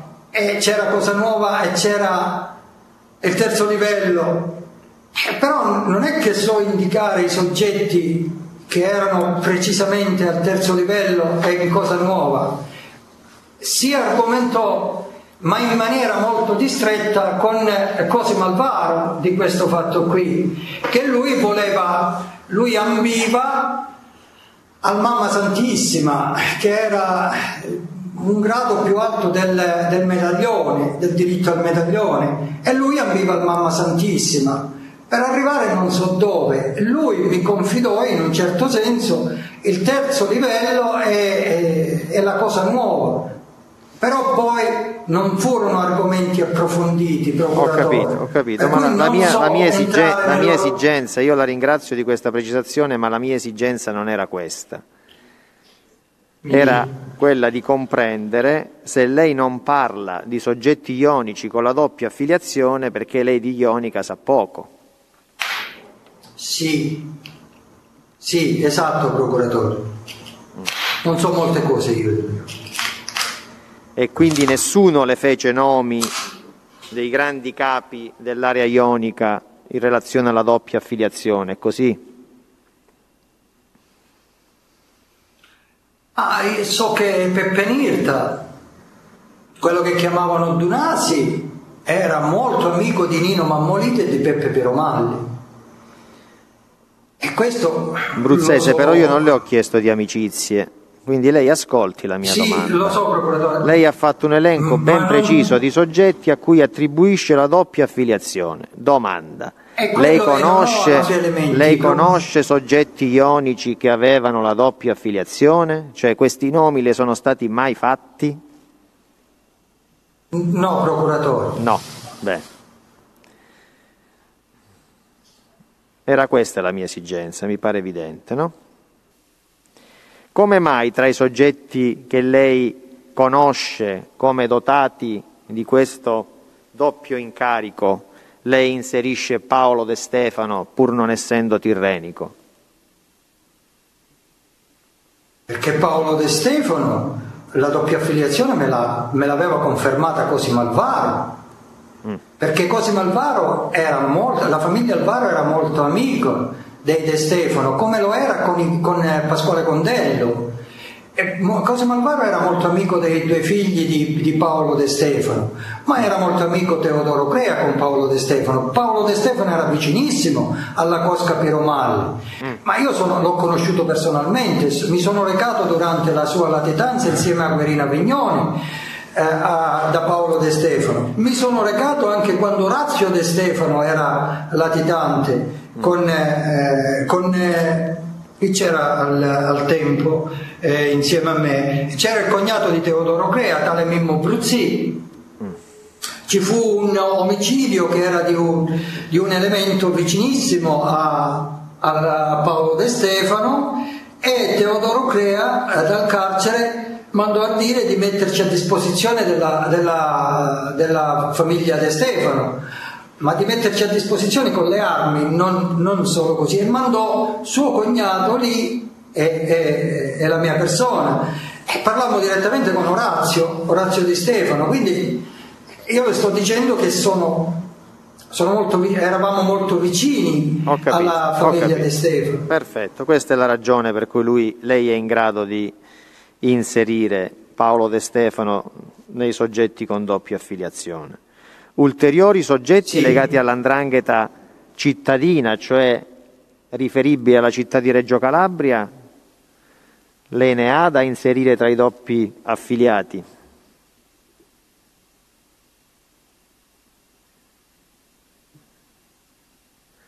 Per quel- però qui non ho un dato di fatto diciamo eh, concreto, qui eh, è una mia supposizione ma ta- non vale. eh, E lascia, vale lascia la il tempo che trova, lascia il tempo che trova. Lascia il tempo che trova. quindi possiamo quindi anche evitarla. Senta, mi spiega meglio questo Sì. grado di mamma santissima che cos'è? Era un grado più elevato oh, rispetto alla- al diritto del medaglione. Per, per quello che mi ricordo io, eh, tre elementi ce l'avevano al tempo diciamo, dei degli anni 80, i primi, i primi anni 80, diciamo, no aspetti, i primi anni 90, eh, ce l'aveva il, doppio, il medaglione, ce l'aveva Pino Piromalli, Nino Pesce, Luigi Mancuso e Pasquale Zagari. Questi quattro elementi avevano il doppio, il, il medaglione. Mm. E e in virtù del fatto che si era scoperta, ecco qual era l'argomento tra me e, e Cosimo Alvaro, che si era scoperto il fatto del doppio medaglione, l'Andrangheta voleva aprire un grado più elevato, molto più ristretto, affinché non venisse diciamo, scoperto in eventuali collaboratori. E si parlava di questo grado e voleva essere lui uno dei Mamma Santissima, questo era l'argomento, però nello specifico eh, della fattispecie del Mamma Santissima, quali, diciamo, quale può essere eh, la sua forza, io non lo so dire, non lo sa. procuratore, perché no, non ho acquisito questa Quindi l'unico, l'unico dato che lei ha acquisito è che c'era un grado superiore al diritto del medaglione che chiamavano Mamma Santissima, è così? C'era la necessità di c'era avere necessità. un qualcosa in più? Sì, era una necessità da parte dell'Andrangheta. Bene. Andiamo avanti. Ma lei a un certo punto nella missiva fa riferimento al figlio di Rocco Santo Filippone. Sì, procuratore. Perché? Perché nel periodo della mia latitanza Ricordiamo, ricordiamo, il periodo, ricordiamo, ricordiamo ancora una volta il periodo della sua latitanza. 1995-2003. Sì, prego.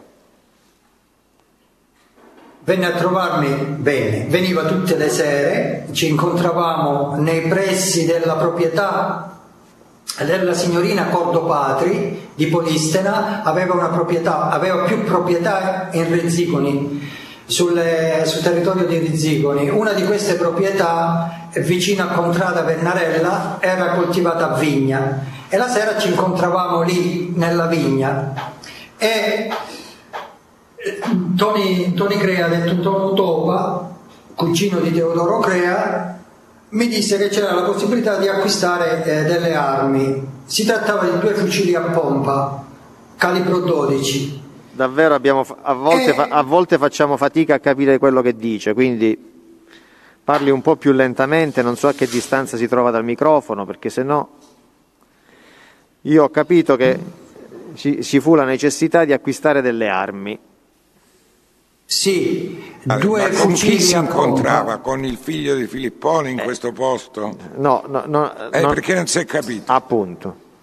Ci vedevamo là, ma non si è capito. Quindi lei ha detto che, fre- che frequentava la zona di Polistena dove incontrava una persona. Ci può dire con più chiarezza chi incontrava? Antonio Crea dall'alias Antonio Utopa. Benissimo. Ad un certo punto Antonio Crea le dice che era necessario acquistare delle armi? No, che c'era l'occasione ah, okay. di acquistare delle armi. armi. Bene.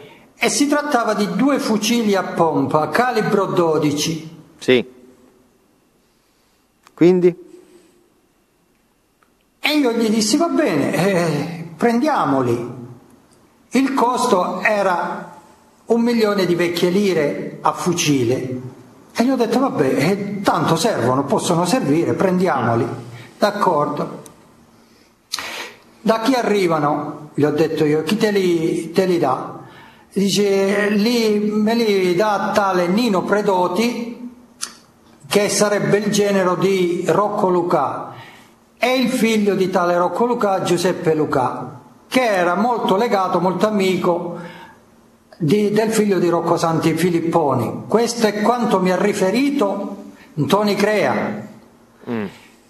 E gli ho detto va bene, acquistale. E di fatti sono state acquistate queste due armi, questi due fucili. Uno di questi due fucili io l'ho consegnato al capitano Cagnazzo la mattina dopo uh, del 2003 quando io mi sono costituito, del 20 ottobre. Il 21 ottobre io consegnai tutte queste armi che io avevo, tra cui questo fucile, una K47, fucili di precisione, insomma un, tutto quello che era uh, elencato nella, nel rapporto dei carabinieri di Taurianova. Invece quello che era di, di, di Crea Antonio, lì di Intonitopa, fu rinvenuto in una uh, diciamo, rastrellazione, in una perquisizione Procuratore generale, ma, eh, la domanda che lei aveva formulato al collaboratore era di eh, darci contezza di suoi rapporti, se non ricordo male, perché sì, ci sì, fa sto, perdere lo, il filo anche della domanda che certo, lei formula. Lo sto facendo con completare per il figlio per di Filipponi. Eh, certo. eh, e allora questo ci deve riferire, se no staremo altre giornate qua. E poi comunque fatti nuovi rispetto a quelli che ci ha già raccontato ovvio, e ovvio, di cui Presidente. ha questa missiva se no non ne usciamo Ovvio, fuori. Ma sta, Eh, sta completando prego. il racconto Sì, sulle armi, esatto, mi pare di capire. esatto. Va bene, però Quindi, fino, a teniamo quando, questo... fino a quando parla di armi mi interessa capire da chi le ha comprate e poi vediamo se c'è stato un ruolo ben preciso. Ha capito Bruzzese? Sì, era una fonte di approvvigionamento, io la sintetizzo così. Sì, ma lei ha acquistato armi direttamente dal figlio di Rocco Santo Filippone o da soggetti che le avevano comprate da lui o no? Le ha acquistate Antoni Crea, io attraverso Antoni Crea le ho acquistate. Antoni Crea mi ha specificato chi gli vendeva queste armi. E quindi Antonio necessità- Crea aveva acquistato armi dal figlio di Rocco Santo Filippone? Attraverso Antoni Crea. Forse non sono chiaro. Antonio Crea aveva acquistato quindi armi dal figlio di Rocco Santo Filippone? Sì, Sì. E quali armi? i due fucili a pompa di cui parlo io. Benissimo. Lei in, questa, 12. lei in questa missiva però dice che il figlio di Rocco Santo Filippone aveva commercializzato molte armi nel Regino. Sì, per quello che mi ha riferito Antoni Crea. E che cosa le ha riferito quindi sull'attività che svolgeva il figlio di Filippone? che più cosche avevano acquistato armi dal figlio di Filipponi. Anzi, io entro, però non posso entrare ad aprire altro argomento perché mi pare che devo sintetizzare. Quindi, queste, tutta questa... No, mi scusi, guardi, lei non è che non può aprire altri argomenti, devono essere argomenti funzionali a spiegare il ruolo di mercante di armi di Filippone. Non so se sono chiaro.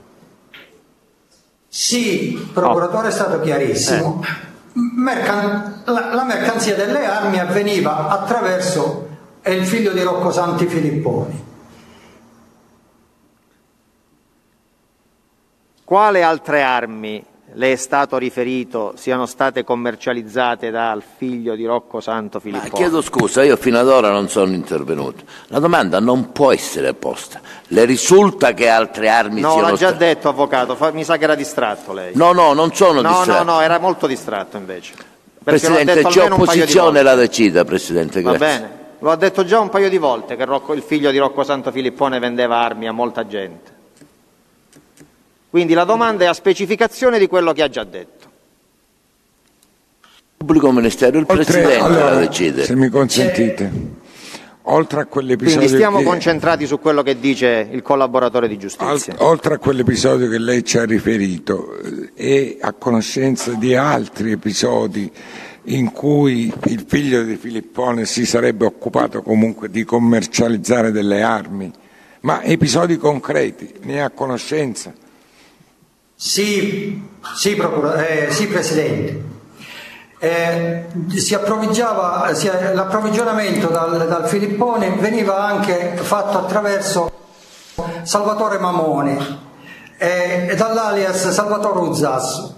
Salvatore Mamone aveva eh, un negozio di, di tendaggi a Polistena e questo Salvatore Mamone acquisiva armi direttamente da, da, dal Filippone, dal figlio di Filippone, ma io non conosco il figlio di, di Filippone, questo lo devo precisare. Quindi il momone era un'altra fonte di approvvigionamento che poi in più eh, diciamo, famiglie queste, queste, armi venivano, in più famiglie di indrangheta, attenzione, venivano uh, vendute. Per quel che mi risulta a me, come, eh, aspetti un attimo, come è a conoscenza di questa notizia che ci ha fornito lei ora? Cioè, questo, è perché io conoscevo riguarda Mammone. Mammone. Eh? Sì, lo conoscevo il Salvatore Mammoni. Era affiliato alla Cosca di Guerina Vignoni. Era un affiliato di Guerina Vignoni, alla famiglia Vignoni. Quindi io eh, tutto, tutto, questo discorso qui è che lo so direttamente perché Guerina Vignone mi ha confidato il fatto che Salvatore eh, Mamone era stato affiliato e che lui era fonte di approvvigionamento anche della famiglia Vignoni di queste armi. Se... Quindi le fonti di conoscenza sono Antonio Crea e Guerino Avignone. Sì. Sì. La mia domanda era ancora più specifica. Che tipo di armi?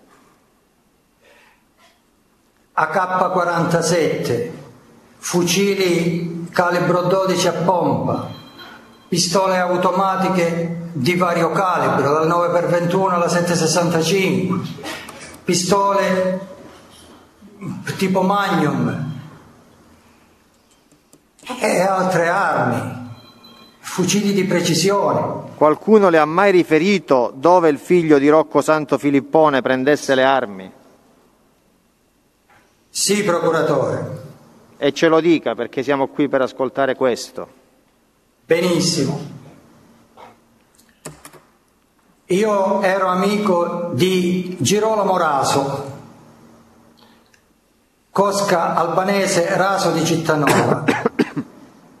Girolamo Laso aveva un affiliato della Sacra Corona Unita, lui era il padrino di Corrado Cucurachi. Tale Corrado Cucurachi è della Sacra Corona Unita, leccese.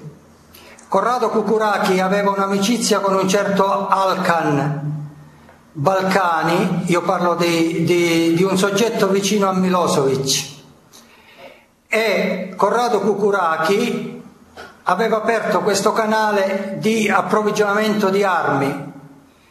Attraverso Mommoraso arrivavano queste armi nella piana di Gioia Tauro. Il canale lo aveva aperto Corrado Cucurachi con, direttamente con Alcan, ma che io ho conosciuto questo soggetto, non l'ho mai conosciuto né l'uno né l'altro, è il riferimento di Mommoraso che io ho avuto. Perché e quindi attraverso questo canale arrivavano alcune armi a Filippone? A, a, attraverso il canale di Otranto, sotto dominio diciamo a quel tempo della Sacra Corona Unita. Ho e questo, questo già nasce, questo dato di fatto oggettivamente nasce praticamente io accompagnavo Girolamo Mammoliti che era soggetto sottoposto a firma e doveva firmare alla caserma di Cittanova Girolamo Mammoliti era affiliato alla cosca di Teodoro Crea Abruzzese Domenico e eravamo molto amici con Mommoraso spesso ci siamo fermati a casa di Mommoraso a mangiare. Siccome eh, Girolamo Mammoliti non aveva la patente, lo accompagnavo io con la sua auto A112 Abarth blindata, corazzata, che si, trova, si trovava almeno eh, eh dentro il garage eh, del laboratorio eh, di, di, dove abitava mia mamma. Praticamente è stata custodita lì la macchina dopo la morte di Girolamo Mammoliti. Perché l'avevo acquistata io la macchina direttamente da suo cognato eh, Yamundo eh, Leonardo.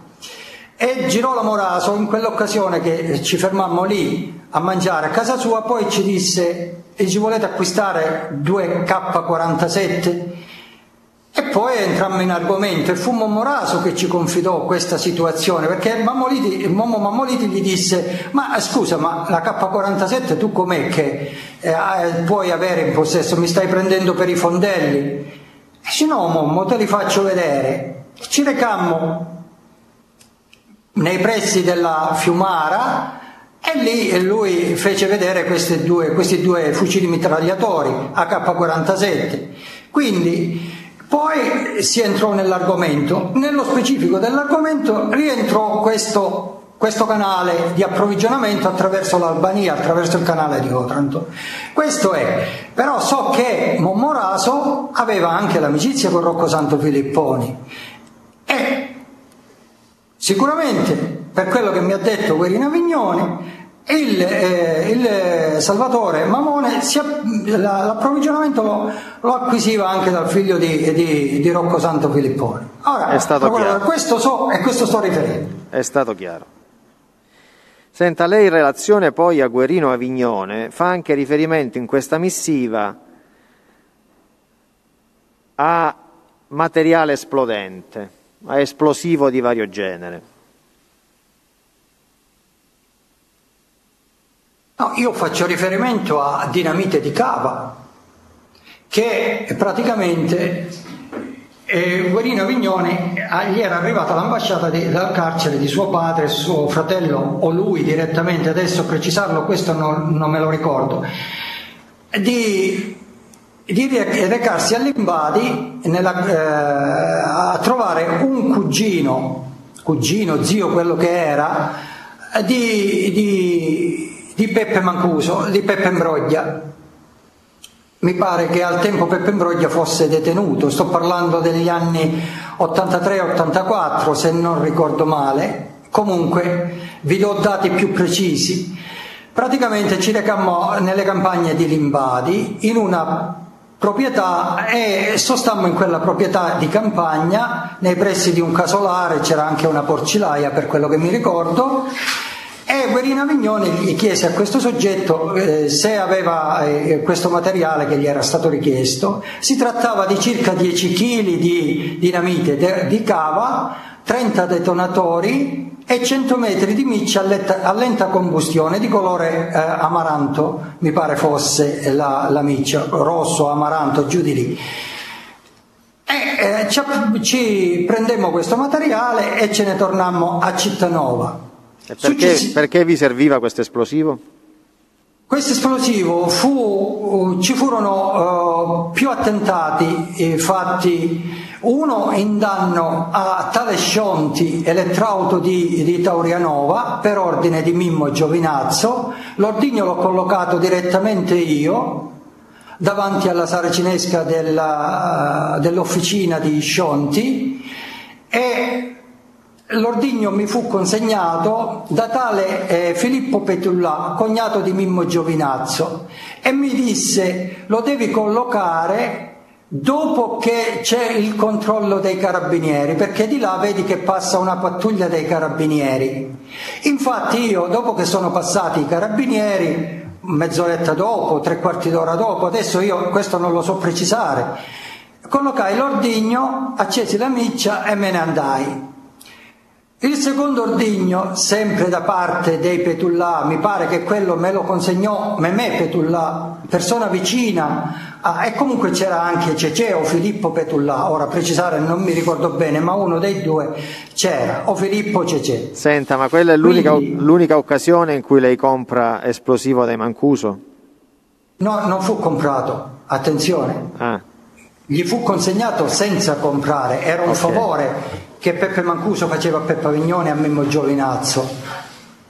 E, e praticamente il secondo ordigno fu collocato eh, sopra la finestra della casa dove abitava tale Zavagli, dove aveva Zavaglia, aveva un marmificio. Va bene, mi, senta, mi ascolti, lo, Bruzzese, mi, ascol- mi ascolti Bruzzese. Mi serve soltanto un, un ulteriore dato diciamo, in relazione a questo specifico tema. Questo esplosivo era esclusivamente riferibile ai Mancuso o ad altre cosche di Indrangheta? No, noi ci recammo lì da questo parente di Peppe Mancuso e che era in, praticamente lui, Guerino Avignone, mi disse, eh, la, mi indicò in oggetto la cava di Limbadi. La cava di Limbadi, eh, Limbadi decade nel territorio dei Mancuso come dominio di Indrangheta e questo materiale esplodente lo adoperavano nella, diciamo, nella spaccatura del granito, della roccia. Sì. Volevo però capire una cosa prima di proseguire, che c'entra anche in relazione all'esplosivo il figlio di Filippone. No, no, no, non mi pare che abbia detto Io non ho questo. detto Filippo. No, lo so, Io ma ho vorrei capire, No, cioè no, no, ci deve raccontare no, no, tutti Presidente, i no, eh, que- questo, questo Eh, argomento però- non, non ha a che fare con il figlio di Filippone, ma se ma lo intuivo, io per questo faccio la domanda, Ecco, non è che eh, se non è strettamente necessario a No, quella no, è strettamente domanda necessario iniziale perché se risponde alla, mia Eh. alla domanda che io gli ho appena posto, voglio dire ha a che fare con il tema del processo. Se giriamo intorno, ovviamente no. Quindi la mia domanda aveva un senso e le ho chiesto. Le ho chiesto, Bruzzese, l'esplosivo di cui lei sta parlando era esclusivamente nella disponibilità dei Mancuso o di altre famiglie di Indrangheta? Se era nella disponibilità dei Mancuso era anche nella disponibilità di altre famiglie di Indrangheta, ovvero nella famiglia Piromalli. Perché? E Perché lo questo automatismo, Bruzzese? sì. Eh, Perché se ce l'avevano i Mancuso ce l'avevano anche i Piromalli? Ascolti le mie domande per cortesia. Sì, procuratore. Eh. Luigi Mancuso, Peppe Mancuso, era molto amico di Peppe Piromalli. La cava, la cava era esclusivamente di queste famiglie, di Peppe Piromalli, degli Avignoni. Parteciparono tutti a quel progetto della cava. E la famiglia eh, Mancuso che si approvvigionò, si approvvige, come dire, acquisiva questo materiale esplodente, lo acquisiva da lì, ma però era in- nella disponibilità di tutte le altre famiglie, Sì. non era in vendita. Oh, Lei però in questa so missiva, lei in questa missiva fa un richiamo specifico e dice che il tritolo era nella disponibilità dei Mancuso, trattino, Piromalli. Perché questa Sì. indicazione così secca? Perché è un, un dato di fatto che io ho acquisito. E nella mia conoscenza io dico Quindi questo. la Per disponibilità di fatto- di tritolo era riferibile congiuntamente ai Mancuso Piromalli. Questo è quello che lei ha acquisito. Sì, Sì. Assolutamente sì. Guerino Vignone si poteva recare presso la famiglia Piromalli, però eh, ci è stato dato un ordine specifico, Oh. direttamente da Mimmo Giovinazzo, da Peppe Avignone, benissimo, benissimo. e di andare dai Mancuso. Io cerco io cerco di comprendere perché lei fa riferimento seccamente a queste due famiglie abbinandole e non ad altri, ha capito? E parto da quello che lei rappresenta nella missiva. Ultimo argomento, Perché? Bruzzese, ultimo argomento. Lei qui comunica di aver riportato erroneamente alcuni eh, riferimenti relativi alle condanne che lei ha subito. Sì, Sì. e voglio precisare che io non ho ricevuto condanna per 416 bis. Perché qualcuno, voglio dire, le ha attribuito condanne che lei non ha subito? Mi sembra che l'avvocato, eh, eh, come si chiama, eh, quello di Cittanova, non, non- Contestabile. mi pare che mi ha posto, contestabile, mi ha posto la domanda se io ho subito eh, condanna per 416 bis. Eh, e lei che io ho cosa aveva risposto risposto? Di sì. Ah, Io, io- mi, mi sembra di aver risposto di sì, ma, Mm. ma io non ho subito condanna per 416 bis. benissimo. Quindi è questa la precisazione che voleva fare?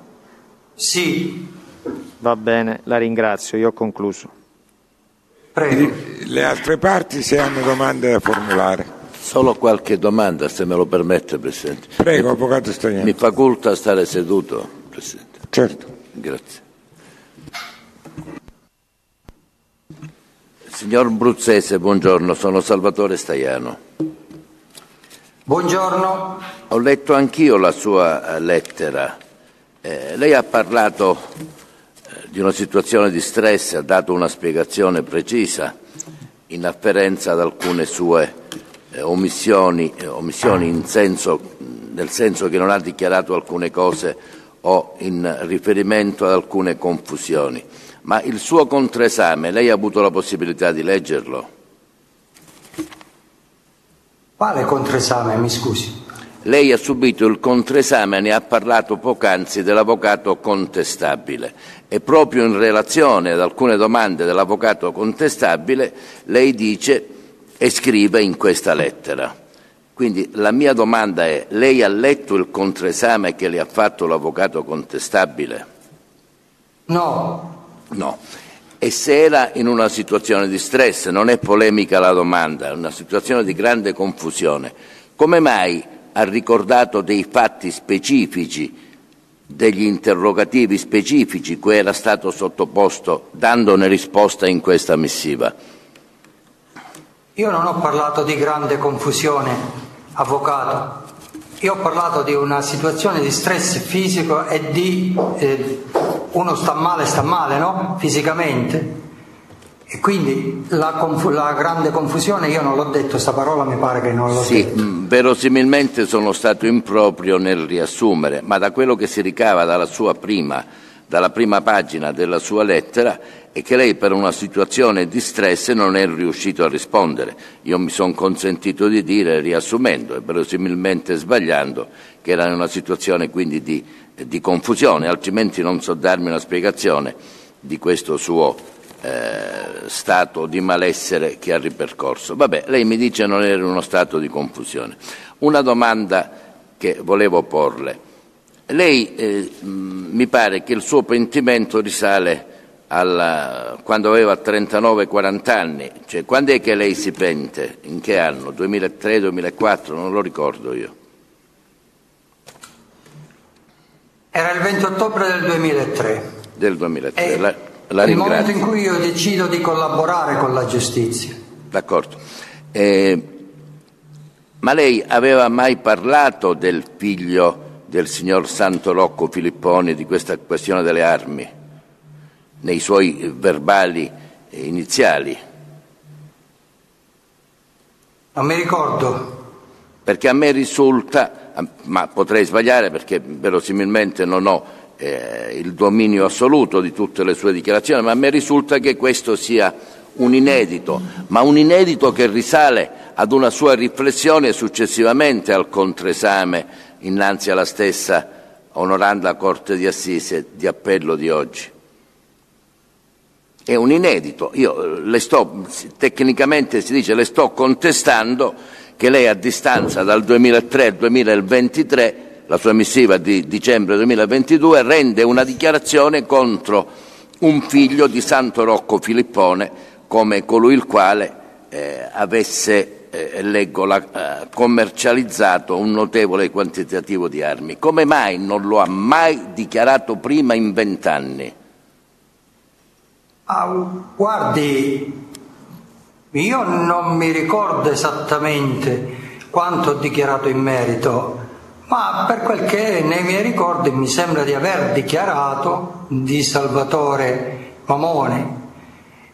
E se nelle mie dichiarazioni attuali io sto menzionando un fatto riconducibile a quello, ma nel momento in cui io ripercorro tutto un percorso della fase di quando io mi presentai alla caserma dei carabinieri di, Polistena, in quell'occasione incrociai Rocco Santi Filippone. E che piano piano io riaffiorano i ricordi dentro quello che è stato il contesto dranghetista in cui io ho orbitato ma io non ho nulla contro Rocco Santi Filipponi. No, forse non mi sono spiegato. Io non sto dicendo che lei abbia qualcosa contro Tizio o contro Caio, ci mancherebbe pure. Non oserei nemmeno pensarlo e non lo penso. E, e, lasci stare questo Salvatore Mamone, eh, perché la mia domanda è specifica, se sa darmi una risposta. Come mai lei ricorda di armi di vendita eh, effettuata dal figlio di Santo Rocco, sto leggendo testualmente, il figlio di Santo Rocco Filippone, dopo 20 anni di dichiarazioni. Eh, la risposta l'ha ricordato ora, cioè, mi dia una risposta, ma non mi dica io ho parlato di Salvatore, perché se mi dice che ha parlato già di Salvatore, di questo signore, è peggio ancora, perché parlando di Salvatore Mamoni avrebbe dovuto parlare a maggior ragione del figlio di Santo Rocco Filippone. Se non ne avesse mai parlato di questo Salvatore Mamone, forse sarebbe stato eh, molto più attendibile il suo dichiarato. Questa è la mia contestazione. Ora, se lo ritiene, mi dia una risposta, altrimenti passo ad un'altra domanda. È un approfondimento, un approfondimento di temi, avvocato. Ma guardi, questo approfondimento di temi è solo ed esclusivamente nella sua mente. Mi perdoni, non c'è alcunché di offensivo, perché lei nella lettera scrive non è che nella lettera lei scrive sono addolorato, sono affranto perché ripete sempre questo termine a cagione del fatto che quando mi, è, mi, è, mi è stata posta la domanda sulla commercializzazione delle armi non ho parlato del figlio di Santo Rocco Filippone. Lei dice sono dispiaciuto di non essermi ricordato del fatto che è il figlio. Quindi l'approfondimento se l'è fatto da solo lei. E a, a cagione di quale stimolo ha fatto questo approfondimento? approfondimento sul figlio di Santo Rocco Filippone, se alcuna domanda in tal senso mi sembra era stata posta. Questa è la mia osservazione finale. Ma l'approfondimento che io mi sono fatto da solo, come dice lei. No, lo dice lei, non io, le chiedo perdono. Ha detto lei poco fa, mi scusi. Ho letto le sue parole, ho letto le sue parole. Mi fa rispondere o vuole parlare solo lei? Luzzese, questo non glielo consento. Va bene? Non ho sentito. Non è, vuole parlare solo lei. Che vuol dire? Che lei si rivolge così all'avvocato? Ora risponda, no? risponda alla domanda che è ammessa, fatta dall'avvocato. Sì, Presidente, è un approfondimento di temi che rientra nello specifico del mio dovere. Penso di aver fatto il mio dovere. Posso passare ad un'altra domanda? Ritengo di sì. Allora, mi pare di aver capito, ma qua mi corregga lei o, o l'ufficio di presidenza o lo stesso eh, dottore Lombardo, mi pare di aver capito che lei non aveva mai parlato di doppia affiliazione in afferenza ad alcuni soggetti, Giuseppe Girolamo, Piromalli, eccetera, eccetera. Ne aveva mai parlato prima? Perché quel ricordo sì, credo di sì. Ma eh, le chiedo perdono, io leggo e, e, le contesto perché la doppia affiliazione nel suo narrato e nella struttura narrativa eh, dell'ufficio distrettuale, ma per struttura narrativa voglio dire l'impegno anche probatorio, questa doppia affiliazione ha un'importanza particolare per stabilire un rapporto tra Calabria e Sicilia. Lei dice sono profondamente addolorato, sto leggendo, il pubblico ministero mi corregga se non, non leggo bene, per non essere stato lucido esattamente in questa fase così importante quanto significativa e poi le farò due domande su questa fase così importante e significativa che non so che cosa significhi in bocca ad un collaboratore e sono dispiaciuto di aver avuto amnesie nel riferire quest'altro importante particolare.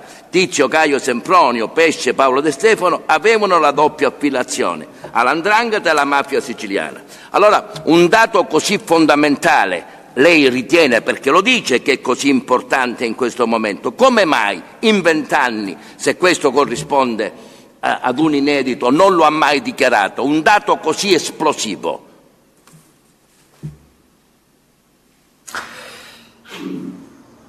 Mi pare che la risposta io l'ho data. Rientra nello specifico del mio dovere di collaboratore di giustizia dire tutto quello che è in mia conoscenza ma io non le contesto no, sì. questo, anzi sotto questo aspetto io sono uno dei pochi che ha coraggio nei processi di mafia di dire ben vengano mille collaboratori. Io non le contesto la buona fede, io non le contesto la onestà intellettuale, io non le contesto un'etica che è indiscutibile, io le contesto che un dato così importante, secondo la sua stessa affermazione, in una fase così importante quanto significativa, lei dimentica di narrare una circostanza, poi vedremo se è necessario eh, sapere, di sapere da chi l'ha saputa, una circostanza che è fondamentale nella costruzione della eh, vicenda che, in cui è impegnata la distrettuale Regina. La mia domanda è come mai in vent'anni lei non ha mai parlato di questo?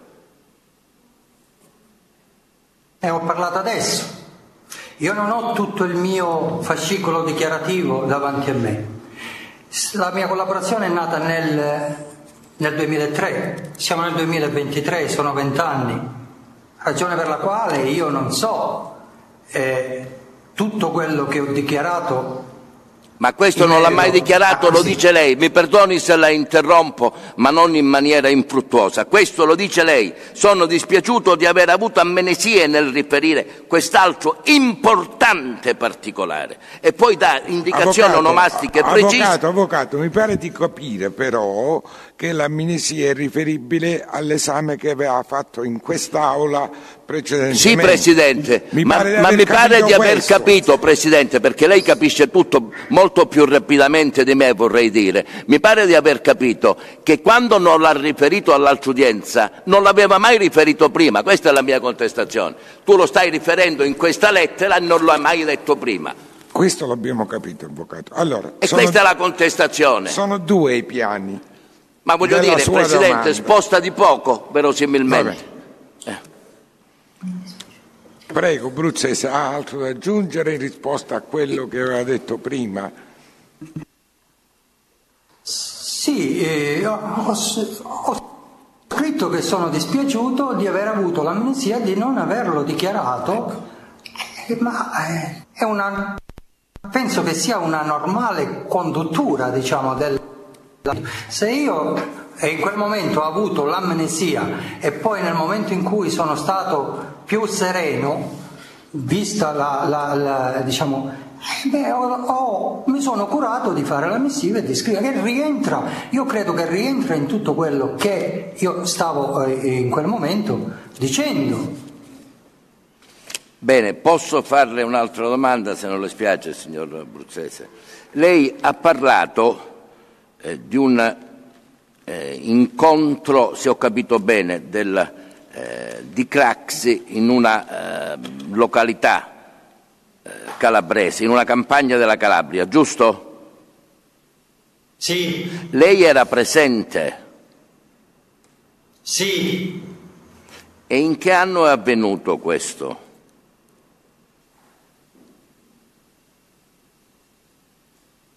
Dopo la morte di Aldo Moro. dopo la morte di Aldo Moro. E questo incontro lei ha assistito alle conversazioni che si sono intrattenute tra Craxi ed altri soggetti che a me non interessa nemmeno vengono indicati. Lei era, era- era presente. Io ho assistito ai convenevoli. E, Dichiarato questo avvocato. Eh? Le chiedo scusa. Precedenti udienze, va bene. no, e allora no, sorvolo. Prego. Ha ragione. Ma questo è un deficit mio di conoscenza, Presidente. Le chiedo scusa. E i contenuti, lei perché non assiste poi al discorso dove verosimilmente, secondo la sua ricostruzione, si sarebbero eh, affrontati dei nuclei tematici che lei ha parlato, ha, individuato, se non ho capito male, nel porto di Gioia Tauro o cose simili. Lei come mai non ha assistito? Ma l'ho detto io per quale motivo non ho assistito. Lo devo ripetere? Come? Ho già specificato il Eh, motivo. in lo un devo secondo me ripetere? lo può ribadire il motivo, un secondo impiega. Quando Peppe Pieromalli, dopo aver salutato Berlusconi e Bettino Craxi, girandosi per sedersi alla cassetta, si accorse di me e gli disse a mio papà, Mico, sto ragazzo qua che faccio? E mio padre, rivolgendosi alla persona che mi aveva portato lì sul posto, ha detto portalo a casa, riportalo a casa. Punto. E dopodiché, quindi lei non ha assistito, però lei sa di cosa si è parlato. Lo sa- Va bene. Eh, su questo mi fermo perché mh, non ha alcun senso che io le contesti alcune regole interne all'andrangheta per come sono accertate nei processi. Avvocato, però guardi che questo è tutto stato un esame. Non sento. lung- è stato un esame lunghissimo proprio su queste tematiche. Eh no, e difatti che mi sto fermando io. disposizione, diciamo. Procuratore, mi sto fermando, che sto Beh, dicendo? Sì, però se si ferma non deve fare commenti. Questo è un'altra censura sua che accetto perché ha ragione. Beh, Su questa ha più ragione che sulla prima. benissimo. Eh, questo signore di cui ella tace il nome, eh, le conseguenze saranno poi eh, evidenziate. Lei dice che l'accompagnò di domenica. Esatto. Solo quella volta nella sua vita è stato portato da qualche parte da questo signore di domenica.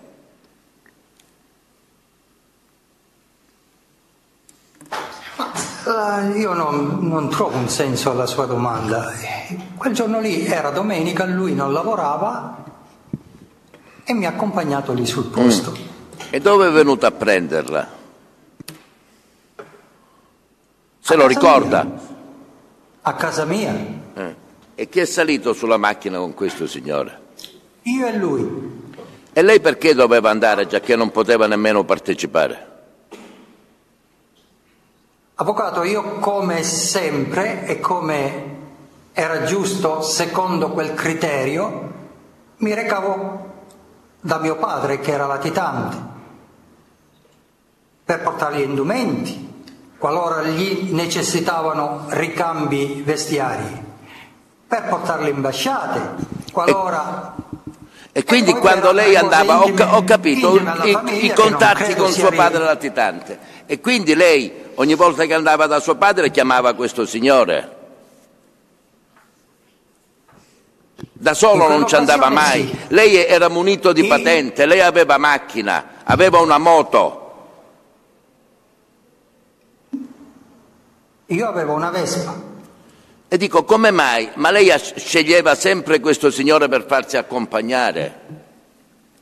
Avvocato, quel giorno faceva freddo, mi pare che io ho parlato anche di cappotti e con la Vespa fare tutti quei chilometri da casa dove abitavo io. La mia domanda, freddo. signor Bruzzese, la mia Sto domanda. rispondendo se me ne dà il tempo. Ma Se non glielo do tempo perché la rispondo. mia domanda è un'altra.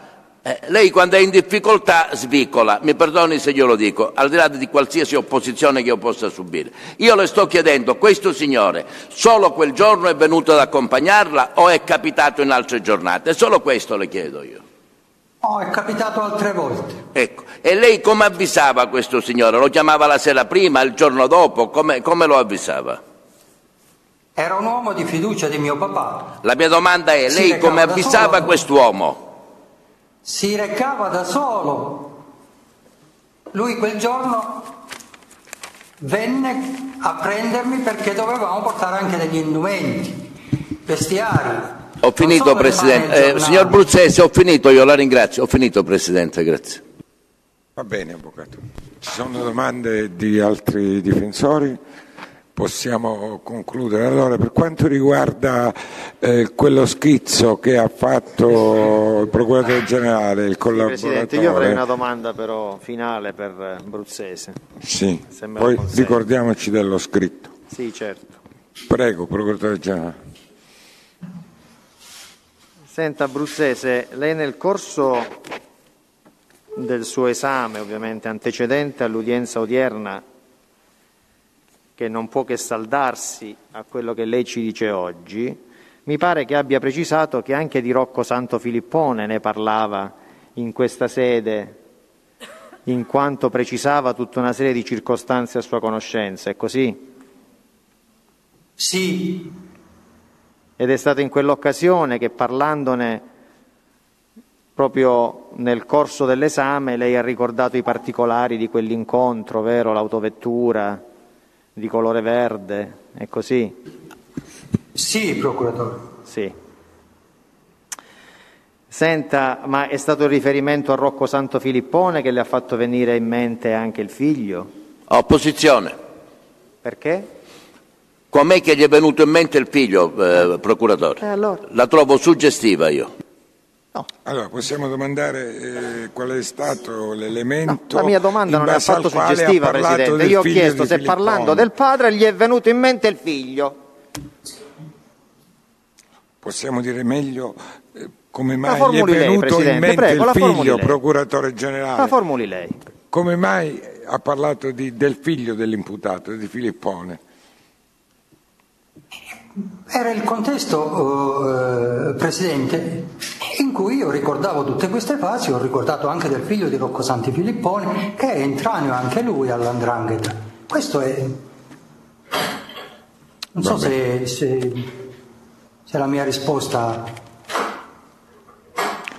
Essendo anche figlio di Rocco Filippone, eh, scusate.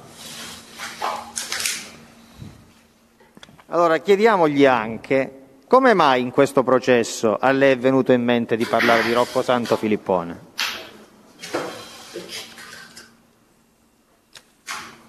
Chiediamoglielo.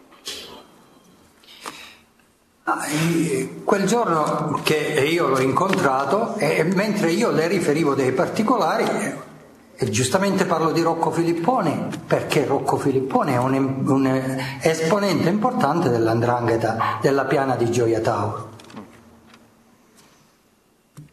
Per quanto mi riguarda ho completato.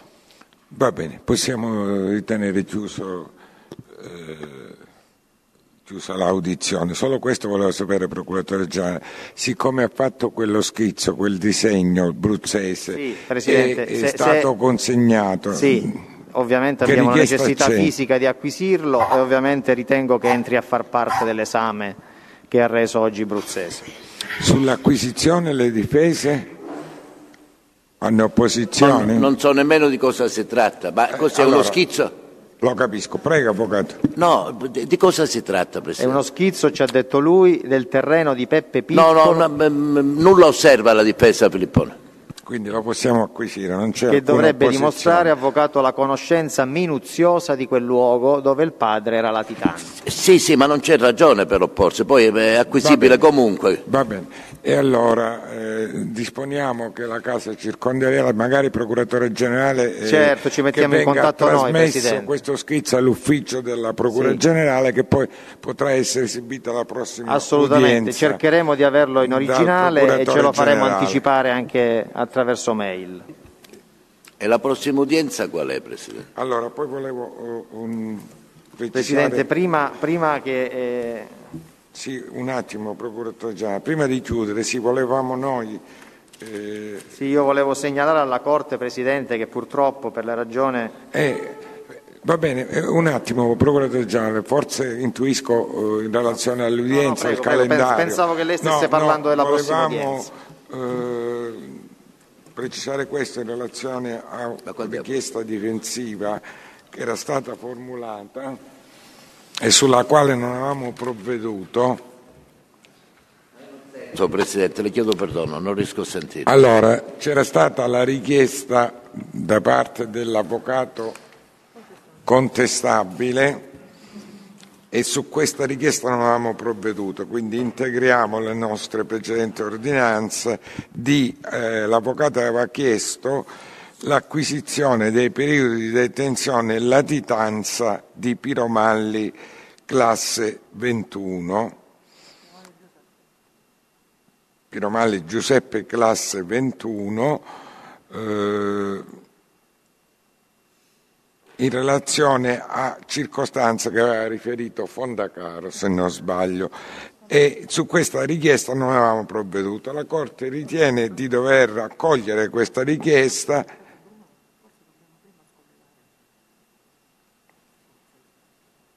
Sì, Bruzzese possiamo chiudere il collegamento, l'avevo detto. Abbiamo concluso con Bruzzese, sì. Grazie.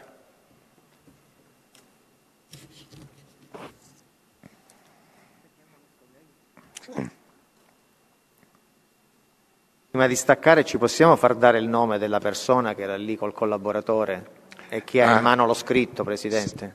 Sì, eh, Ah, vi risulta? Va bene, ci risulta perfetto. grazie. abbiamo, va bene.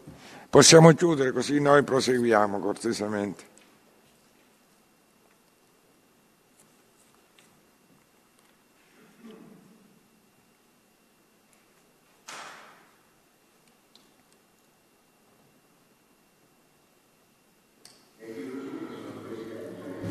Sì. Dal sito riservato le volevo chiedere per quanto riguarda lo schema che ha consegnato il test, lo dovremmo inviare a chi gentilmente? Sì, alla... eh... metteremo, ci metteremo noi in contatto come Procura Generale con voi, va bene? Ok, grazie. Prego. Grazie. Potete chiudere, grazie.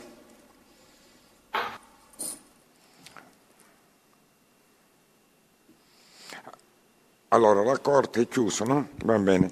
Eh, accoglie questa richiesta mh, quindi di avere le informazioni sui periodi di detenzione e latitanza di Piromalli classe 1921 e in tal senso ha anticipato nel senso che ha richiesto all'amministrazione penitenziaria la ricerca storica che riguarda i periodi di detenzione di Piromalli Giuseppe e la posizione giuridica. E nell'esaminare, poi le parti li possono esaminare, noi abbiamo riscontrato che in particolare dalla posizione giuridica risulterebbe un periodo di uscita dalle carceri di Piromalli Giuseppe classe 21, 21 il 20 febbraio del 1987. Si dà atto di un'uscita per scarcerazione. Parlo della posizione giuridica. Invece, sulla ricerca storica, giusto? No, allora questo per quanto riguarda è la stessa cosa. E perché chiamano posizione giuridica?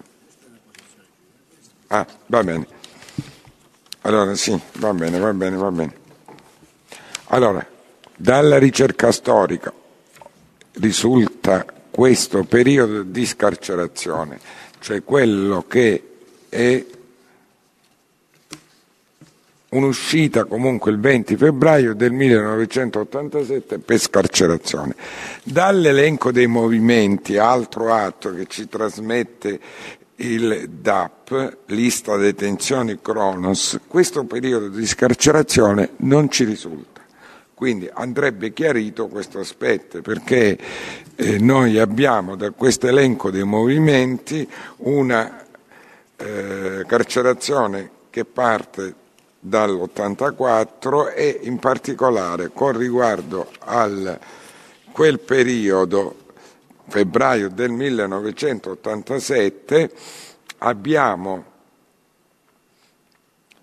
eh, un ingresso proprio il 10 febbraio 87 di Piromalli Giuseppe nella casa circondariale di Reggio Calabria Panzera e poi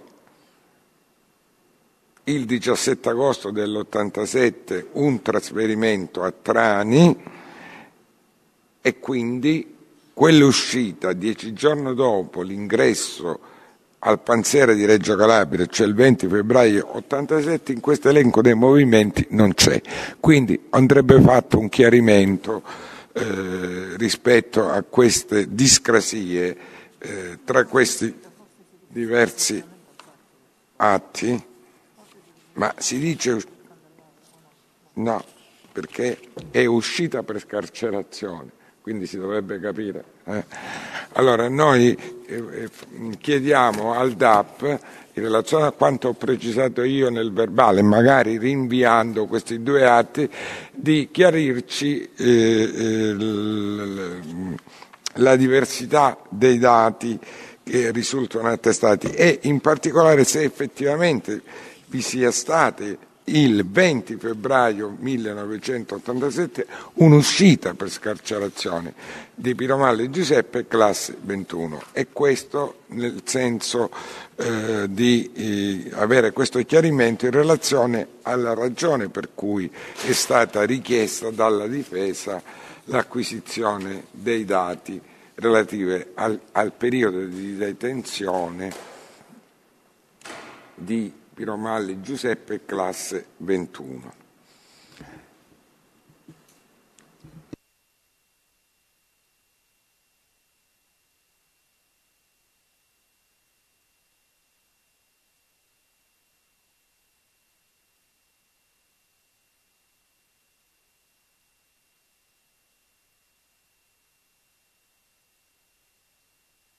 Grazie sono, eh, alleghiamo ai verbali d'udienza questi atti che abbiamo citato e che non erano stati prima menzionati. Procuratore generale, eh, mi diceva per il calendario d'udienza che avevamo fissato? Presidente, purtroppo da troppi mesi l'ufficio di, di provenienza, il mio ufficio di provenienza, vive un sottorganico nelle funzioni direttive e semidirettive. In soldoni sono il solo procuratore aggiunto in servizio. Sono stato convocato per tre giorni consecutivi per riunioni non rinviabili presso varie sedi, soprattutto la DNA, quindi purtroppo io il 13 febbraio devo partecipare a queste riunioni e non potrò essere in udienza.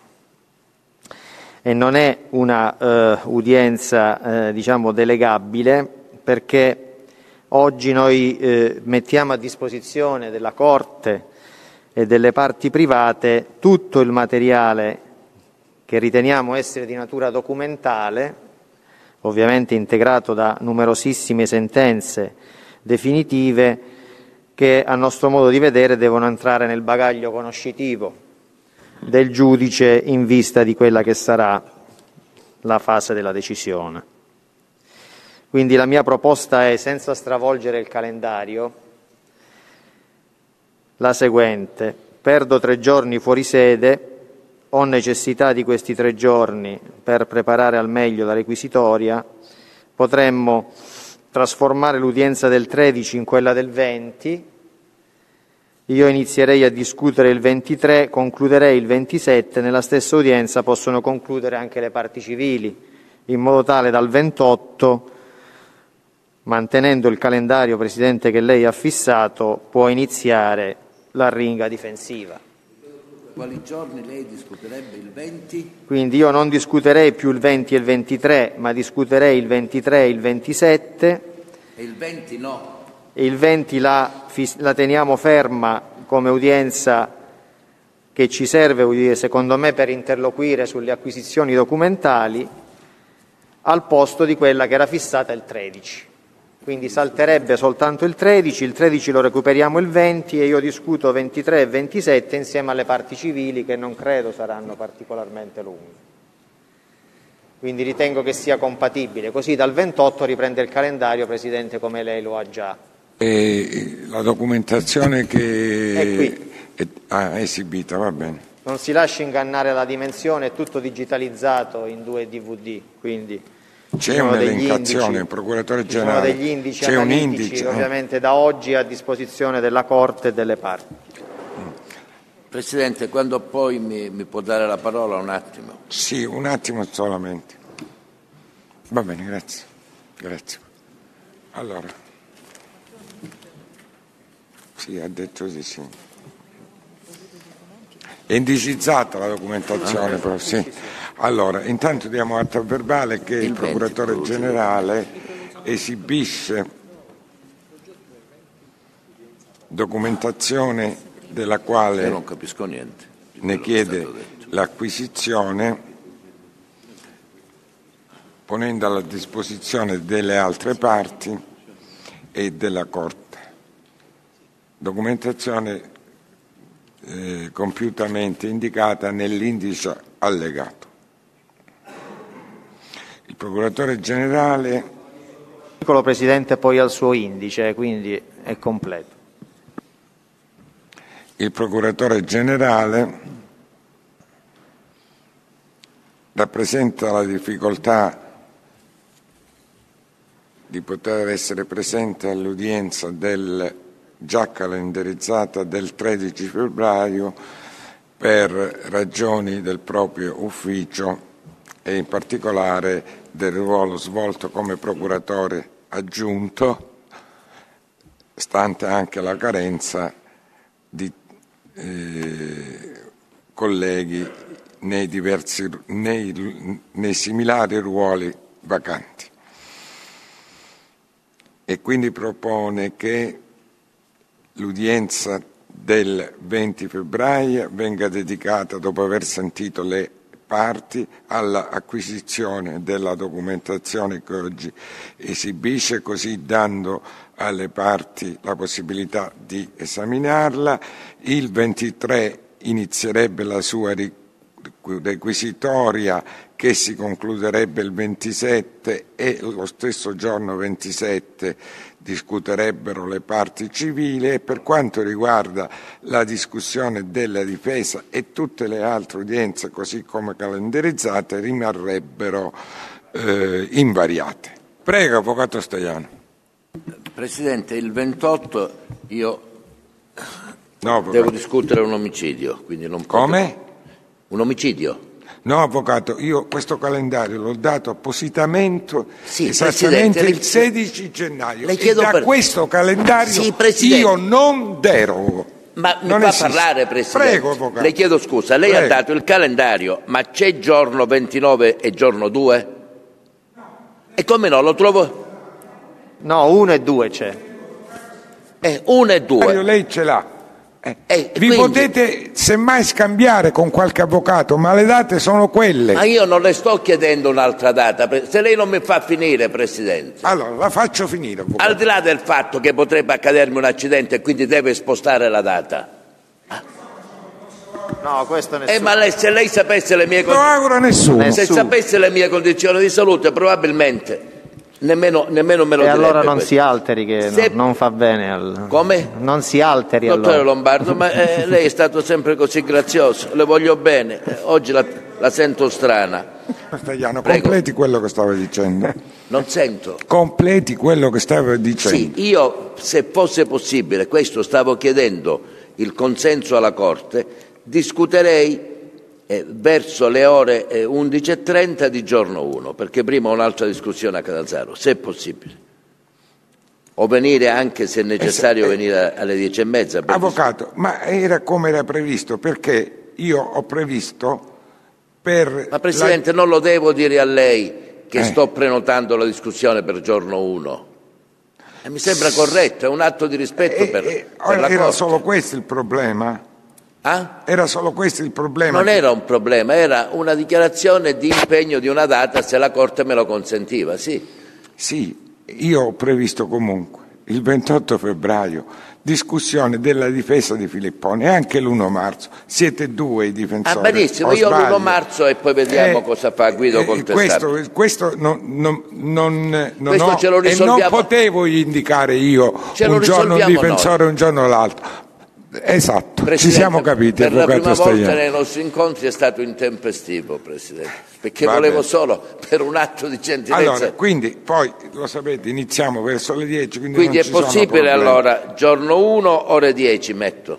Va bene, e poi esatto, il Grazie. 28 febbraio dovrebbe parlare l'altro difensore. Va bene, allora eh, la, la Corte aderisce la, eh, alla richiesta del procuratore generale e nulla opponendosi, ho capito bene, le altre parti in relazione al mutamento del calendario, così come specificato, revoca l'udienza del 13 febbraio e quindi ci rivediamo il 20 febbraio.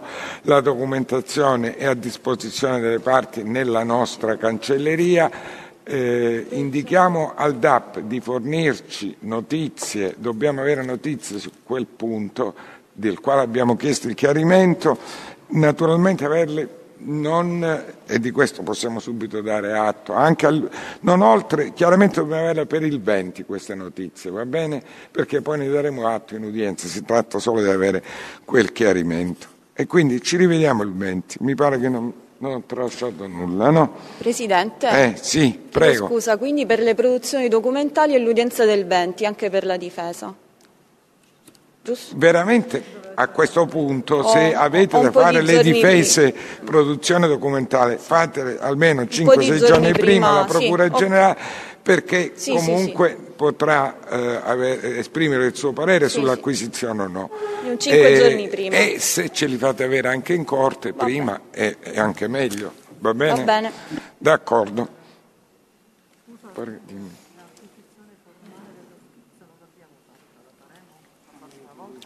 Sì, quando lo produce, ma non c'è opposizione, sì, certo, d'accordo. Segnato, va bene. Allora, l'udienza è conclusa per oggi. Grazie, arrivederci.